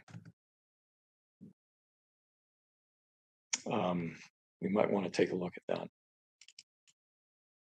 Not for this project, but as a policy. Those homes already have pressure systems of their own. Yeah, I understand that. Okay, great, thanks. Good. I'm, I don't see we have a choice here. Okay. Um, do we have mixing valves in our other large tank? The new ones, when we replace, Lyon Tank has a mixing, and some have the piping set up so where water comes in at the top and goes out at the bottom. right. But the So we- state has changed that to, they prefer more of a mixing. Right. but, um, We awarded this last year this time. Uh, We've been putting mixing valves in for longer than a year is what it sounds like. then. It's like, like like Garrett said, we put them in on the uh. Lompico tanks. And as we move forward now, any tank over a hundred thousand, we will put in the design. Um, So knowing the should be state part of will, District. and it will be part of the bid process. Okay. I mean, do these things need to be included in a policy or something? No, Engineering- part of- Part of standards? their engineering standards. Okay. Okay. Okay, um, I don't have any further questions on that. Uh, Then I'd like to direct the district manager to amend the existing contract with J and B Construction in an amount not to exceed uh forty-one thousand seven hundred for the purchase and installation of a Tide Flex potable water mixing valve for the Blue Ridge tank replacement. I'll second. Okay. Any comments from the public on this? Seeing none. Holly? President Smalley, Yes. Vice President Hill, Yes, Director Fultz. Yes, Okay. Uh, The uh, item F, the capital reserve policy. Yes, the finance manager will start the discussion. Okay, back in twenty twenty, there was discussion of developing a capital asset management plan for a camp that staff can use to help develop a comprehensive long-term financial plan. The camp will give insight into financial capacity for the best way to plan and achieve long, long-term objectives. In October of twenty twenty-one, the master plan was completed, which provided a capital improvement program which evaluated evaluated the district's water system and recommended capacity improvements necessary to service the needs of.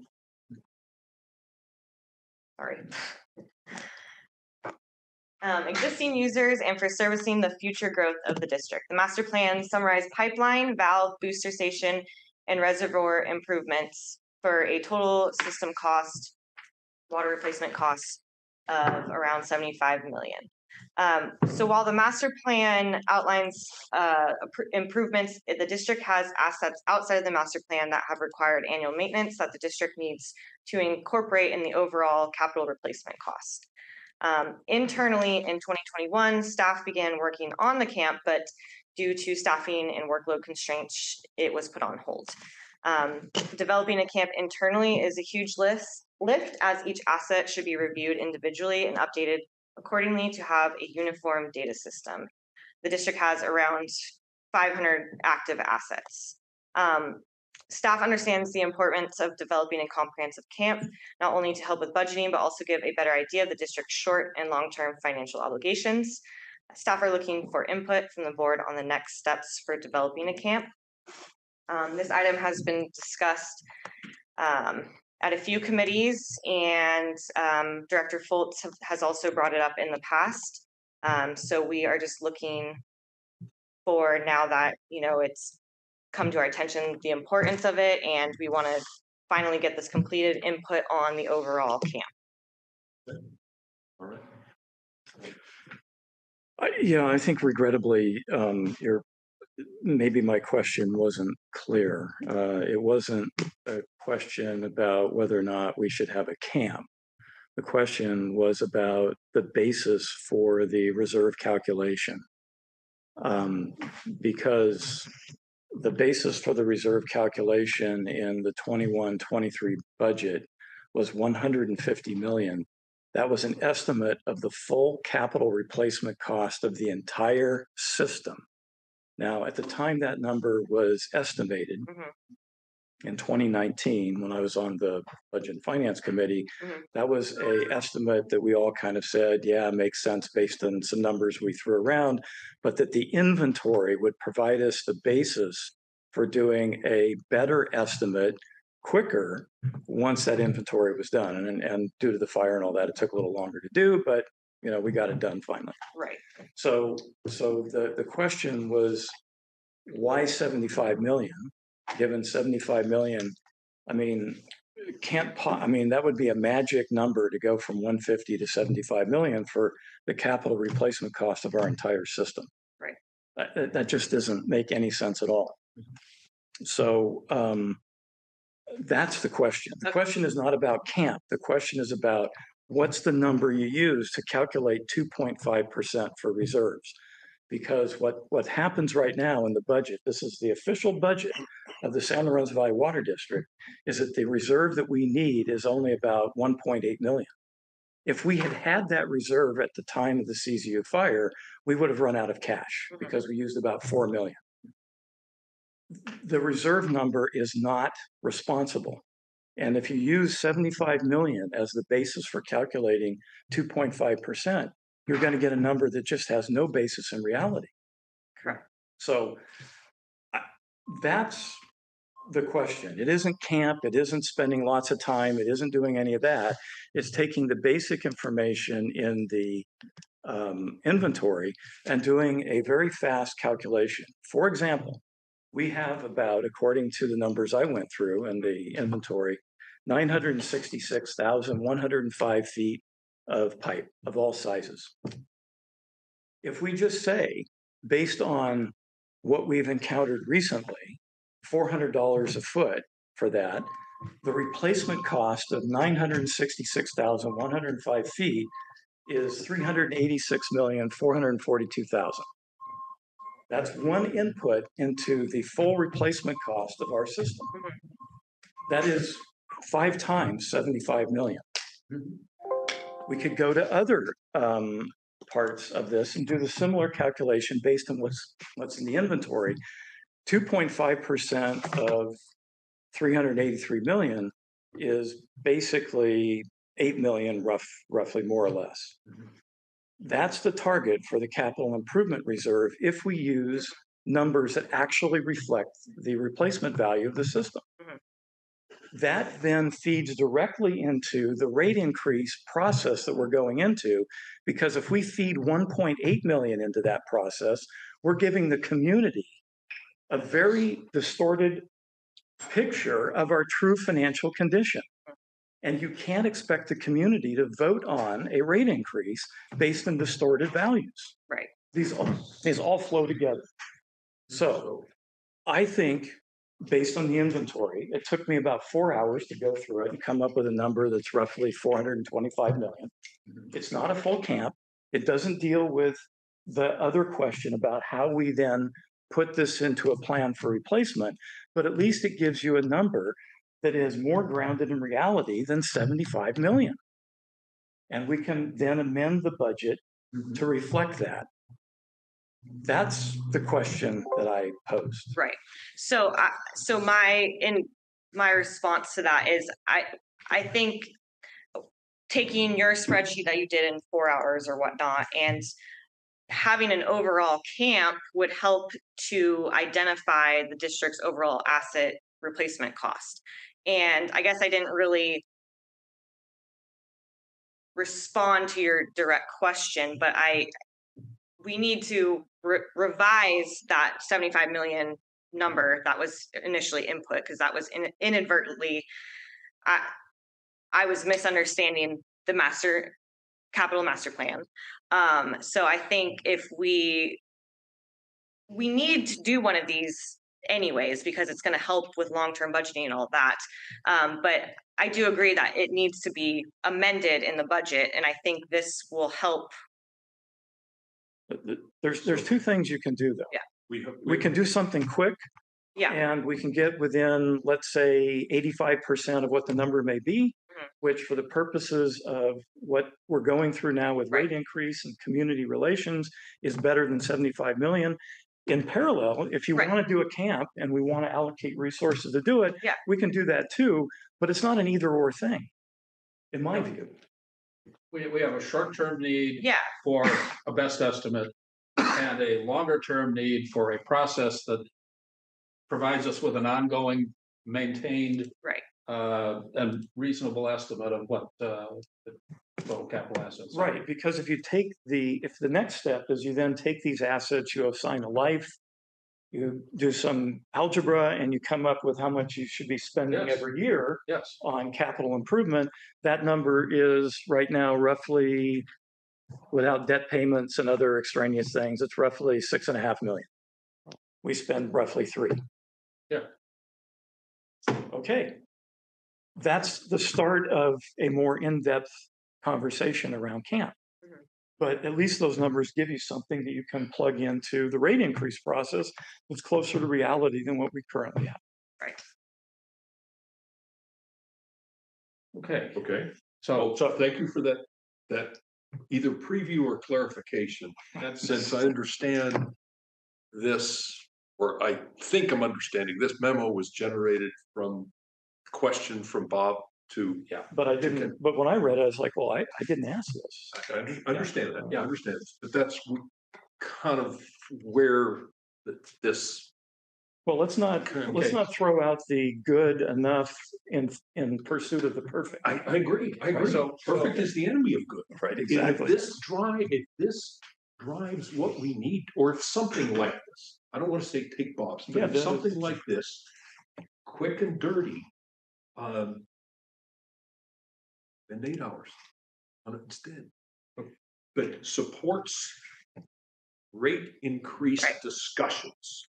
and, and that we have to do fairly quickly because we've got Raftelis working on numbers. Right. Right.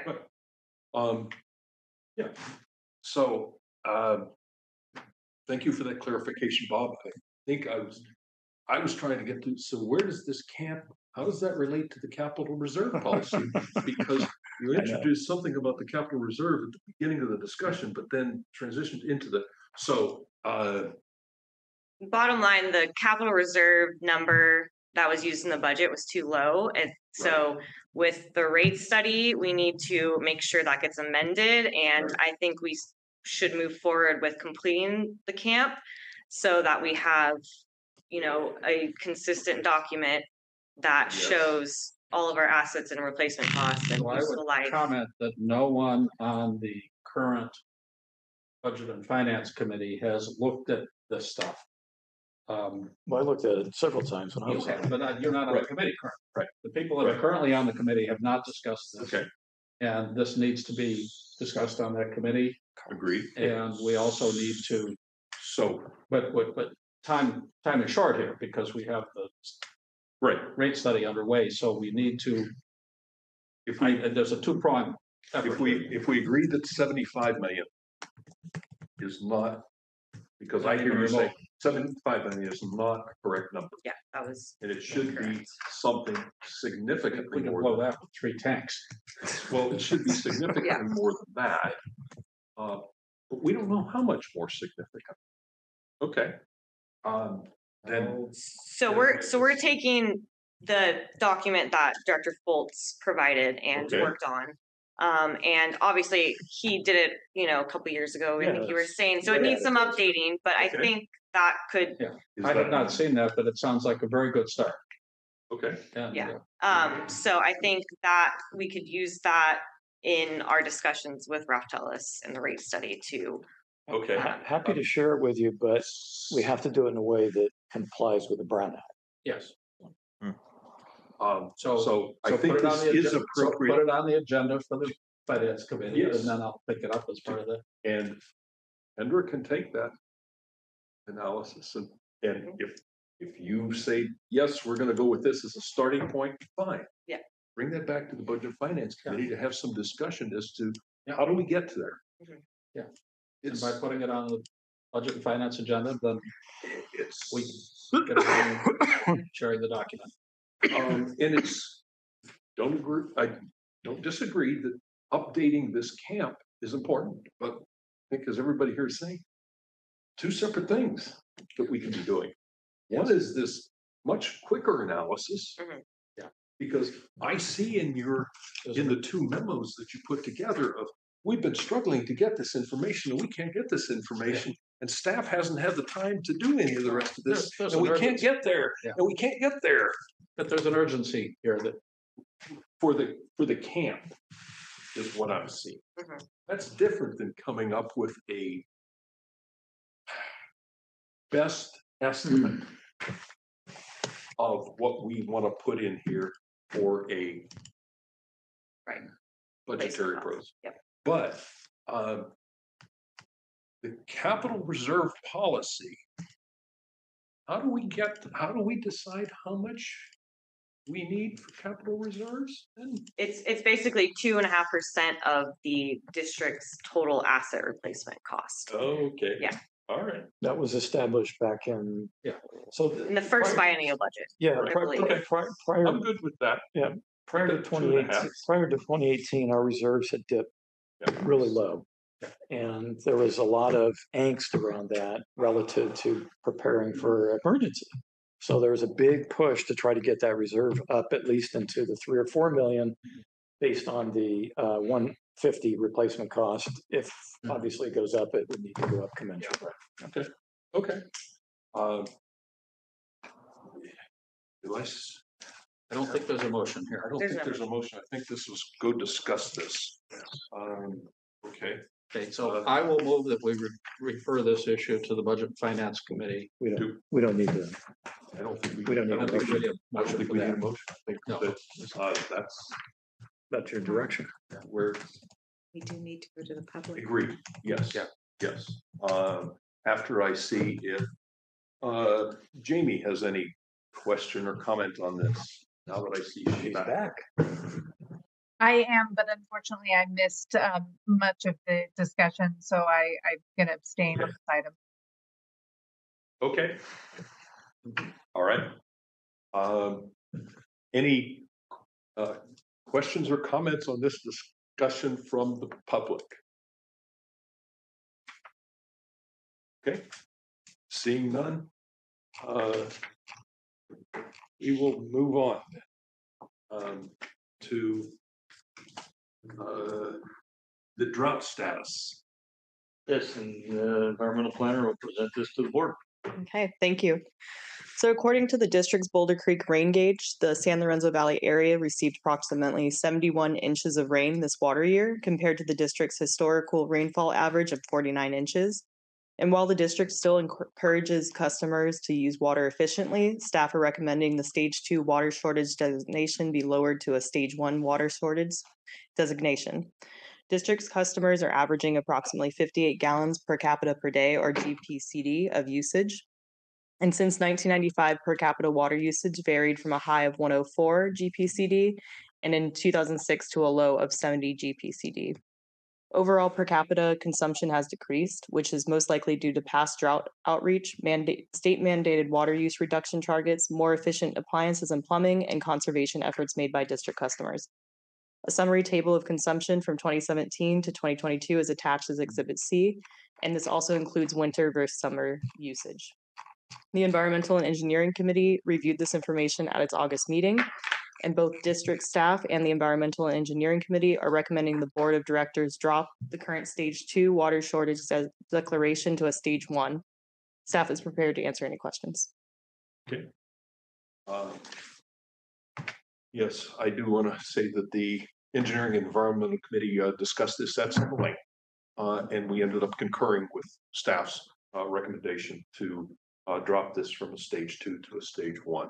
So uh, Bob and I are both on that committee, for anybody from the public that's interested in that. Uh, So I'd like to hear from Jeff. Okay, so I only have one comment. I, I don't object to what you're doing there, but you quoted a number of, you know, gallons per day Mhm. usage and that- that's per person, or I don't remember exactly what the measurement was. Right.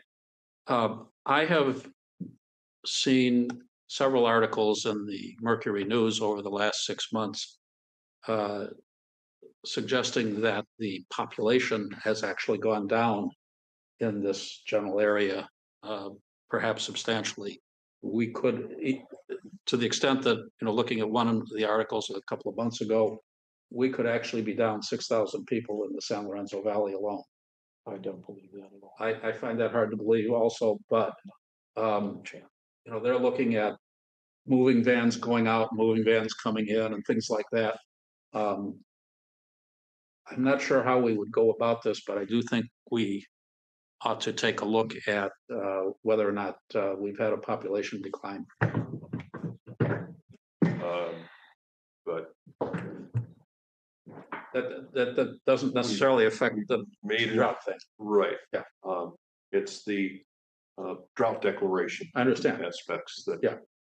I'm I'm just responding to Right. some of the numbers that were used. Okay. Any other?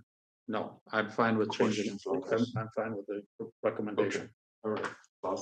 Yeah, so in the discussion in the engineering committee, we actually had made some recommendations on numbers that I, I think I want to review quickly here to provide a little bit more context. I believe the numbers that you're quoting here, 104 and 70, are indoor and outdoor uh, water usage over the course of the year.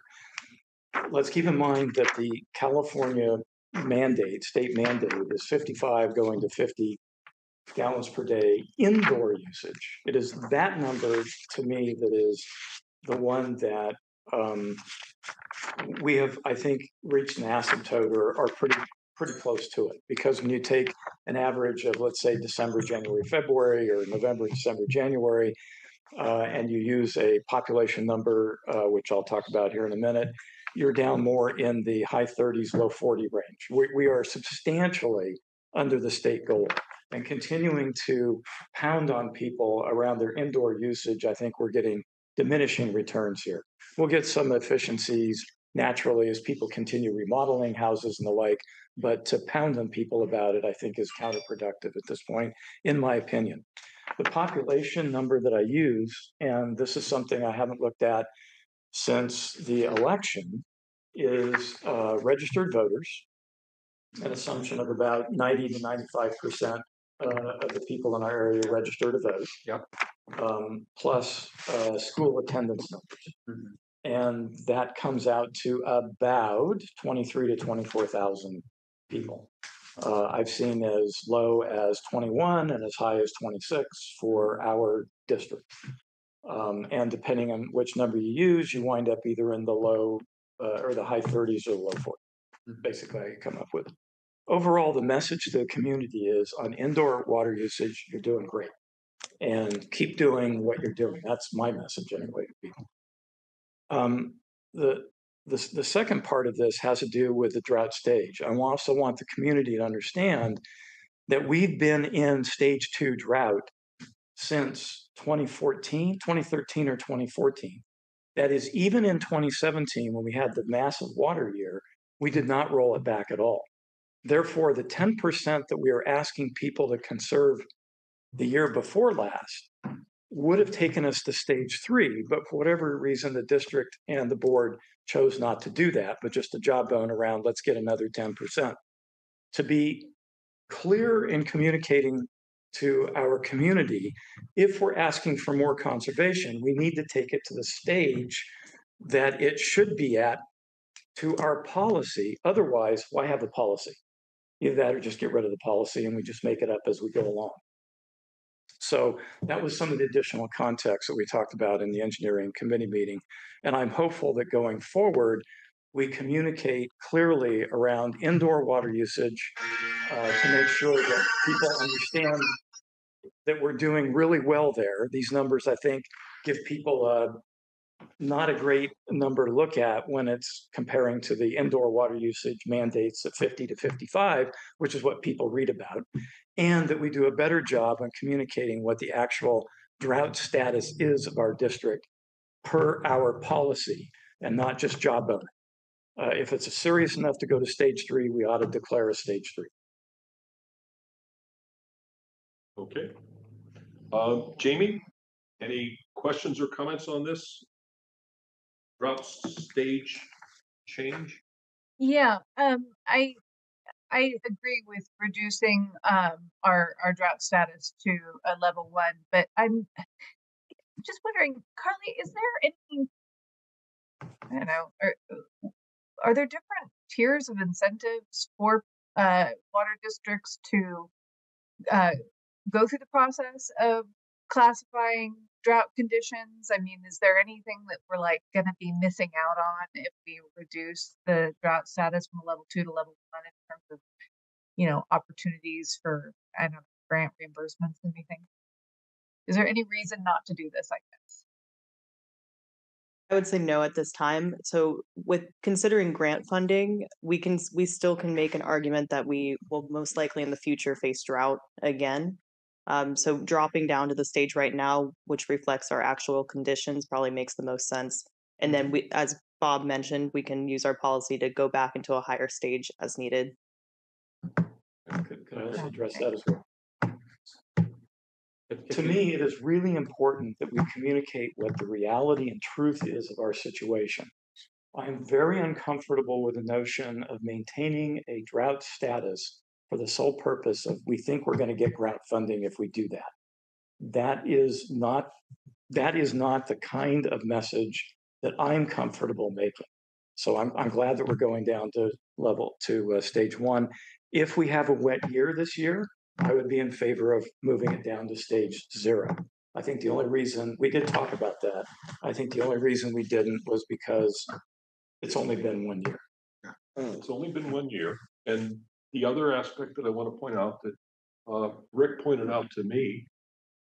At the committee meeting was, uh, we still do not have surface water sources. Significant surface water sources back online in the Boulder Creek area, so we're um. Hampered or limited by what we don't have there. Um, and, um personally, whether we're under a stage two, a one, or no stage, our customers are, are conserving. Of course. Look at, look at our water usage numbers as compared to, uh, the past three-year average. They continue to be ten percent below, ten percent below. Uh, I've been seeing that for the last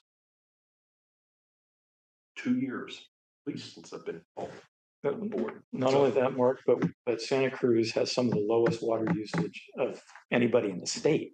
We do a really good job on this. Santa Cruz County. Yeah. The districts in the Santa Cruz County. Okay, all right. So, uh, given that, um, I don't have any other questions on this or a point that I want to make. So, uh, I want to move that the board directors lower, um, the stage two water shortage to stage one water shortage based on the um, anticipated water shortage of ten percent or less for the water year twenty twenty-three. No, second. Okay, uh, any comments from the public on this? Seeing none? Uh, Holly? President Smalley, Yes. Vice President Hill, Yes, I'm sorry, yes, uh, Director Fultz, Yes. Director Ackerman, Yes. and passes. Okay. Uh, We can now move on to the consent agenda. Um, Does anybody uh, want to take any objections to the minutes that are currently presented in front of us here? Um, It's uh, approaching nine o'clock and the board has been here for three hours now. Uh, I want to uh, propose that the uh, district reports, if we have any questions on those, that we defer that until the next meeting. Without any objections? None, none for me. All right. Um, is this where I should interject a comment about uh, the Felton Heights tank? Uh, I'm I'm sorry, John, but I need to adjourn the meeting first. Um, And then say it. um, and, and then you can, uh, right, as, when the meeting is over, we Okay, can do that. Okay, John, I can meet with you after the meeting, give you a quick update if you'd like. Uh, But, uh, yeah, given that, I think we can adjourn the meeting. And uh, we're done. Thank you. Thank Good night, Thanks, everyone. all. Good night.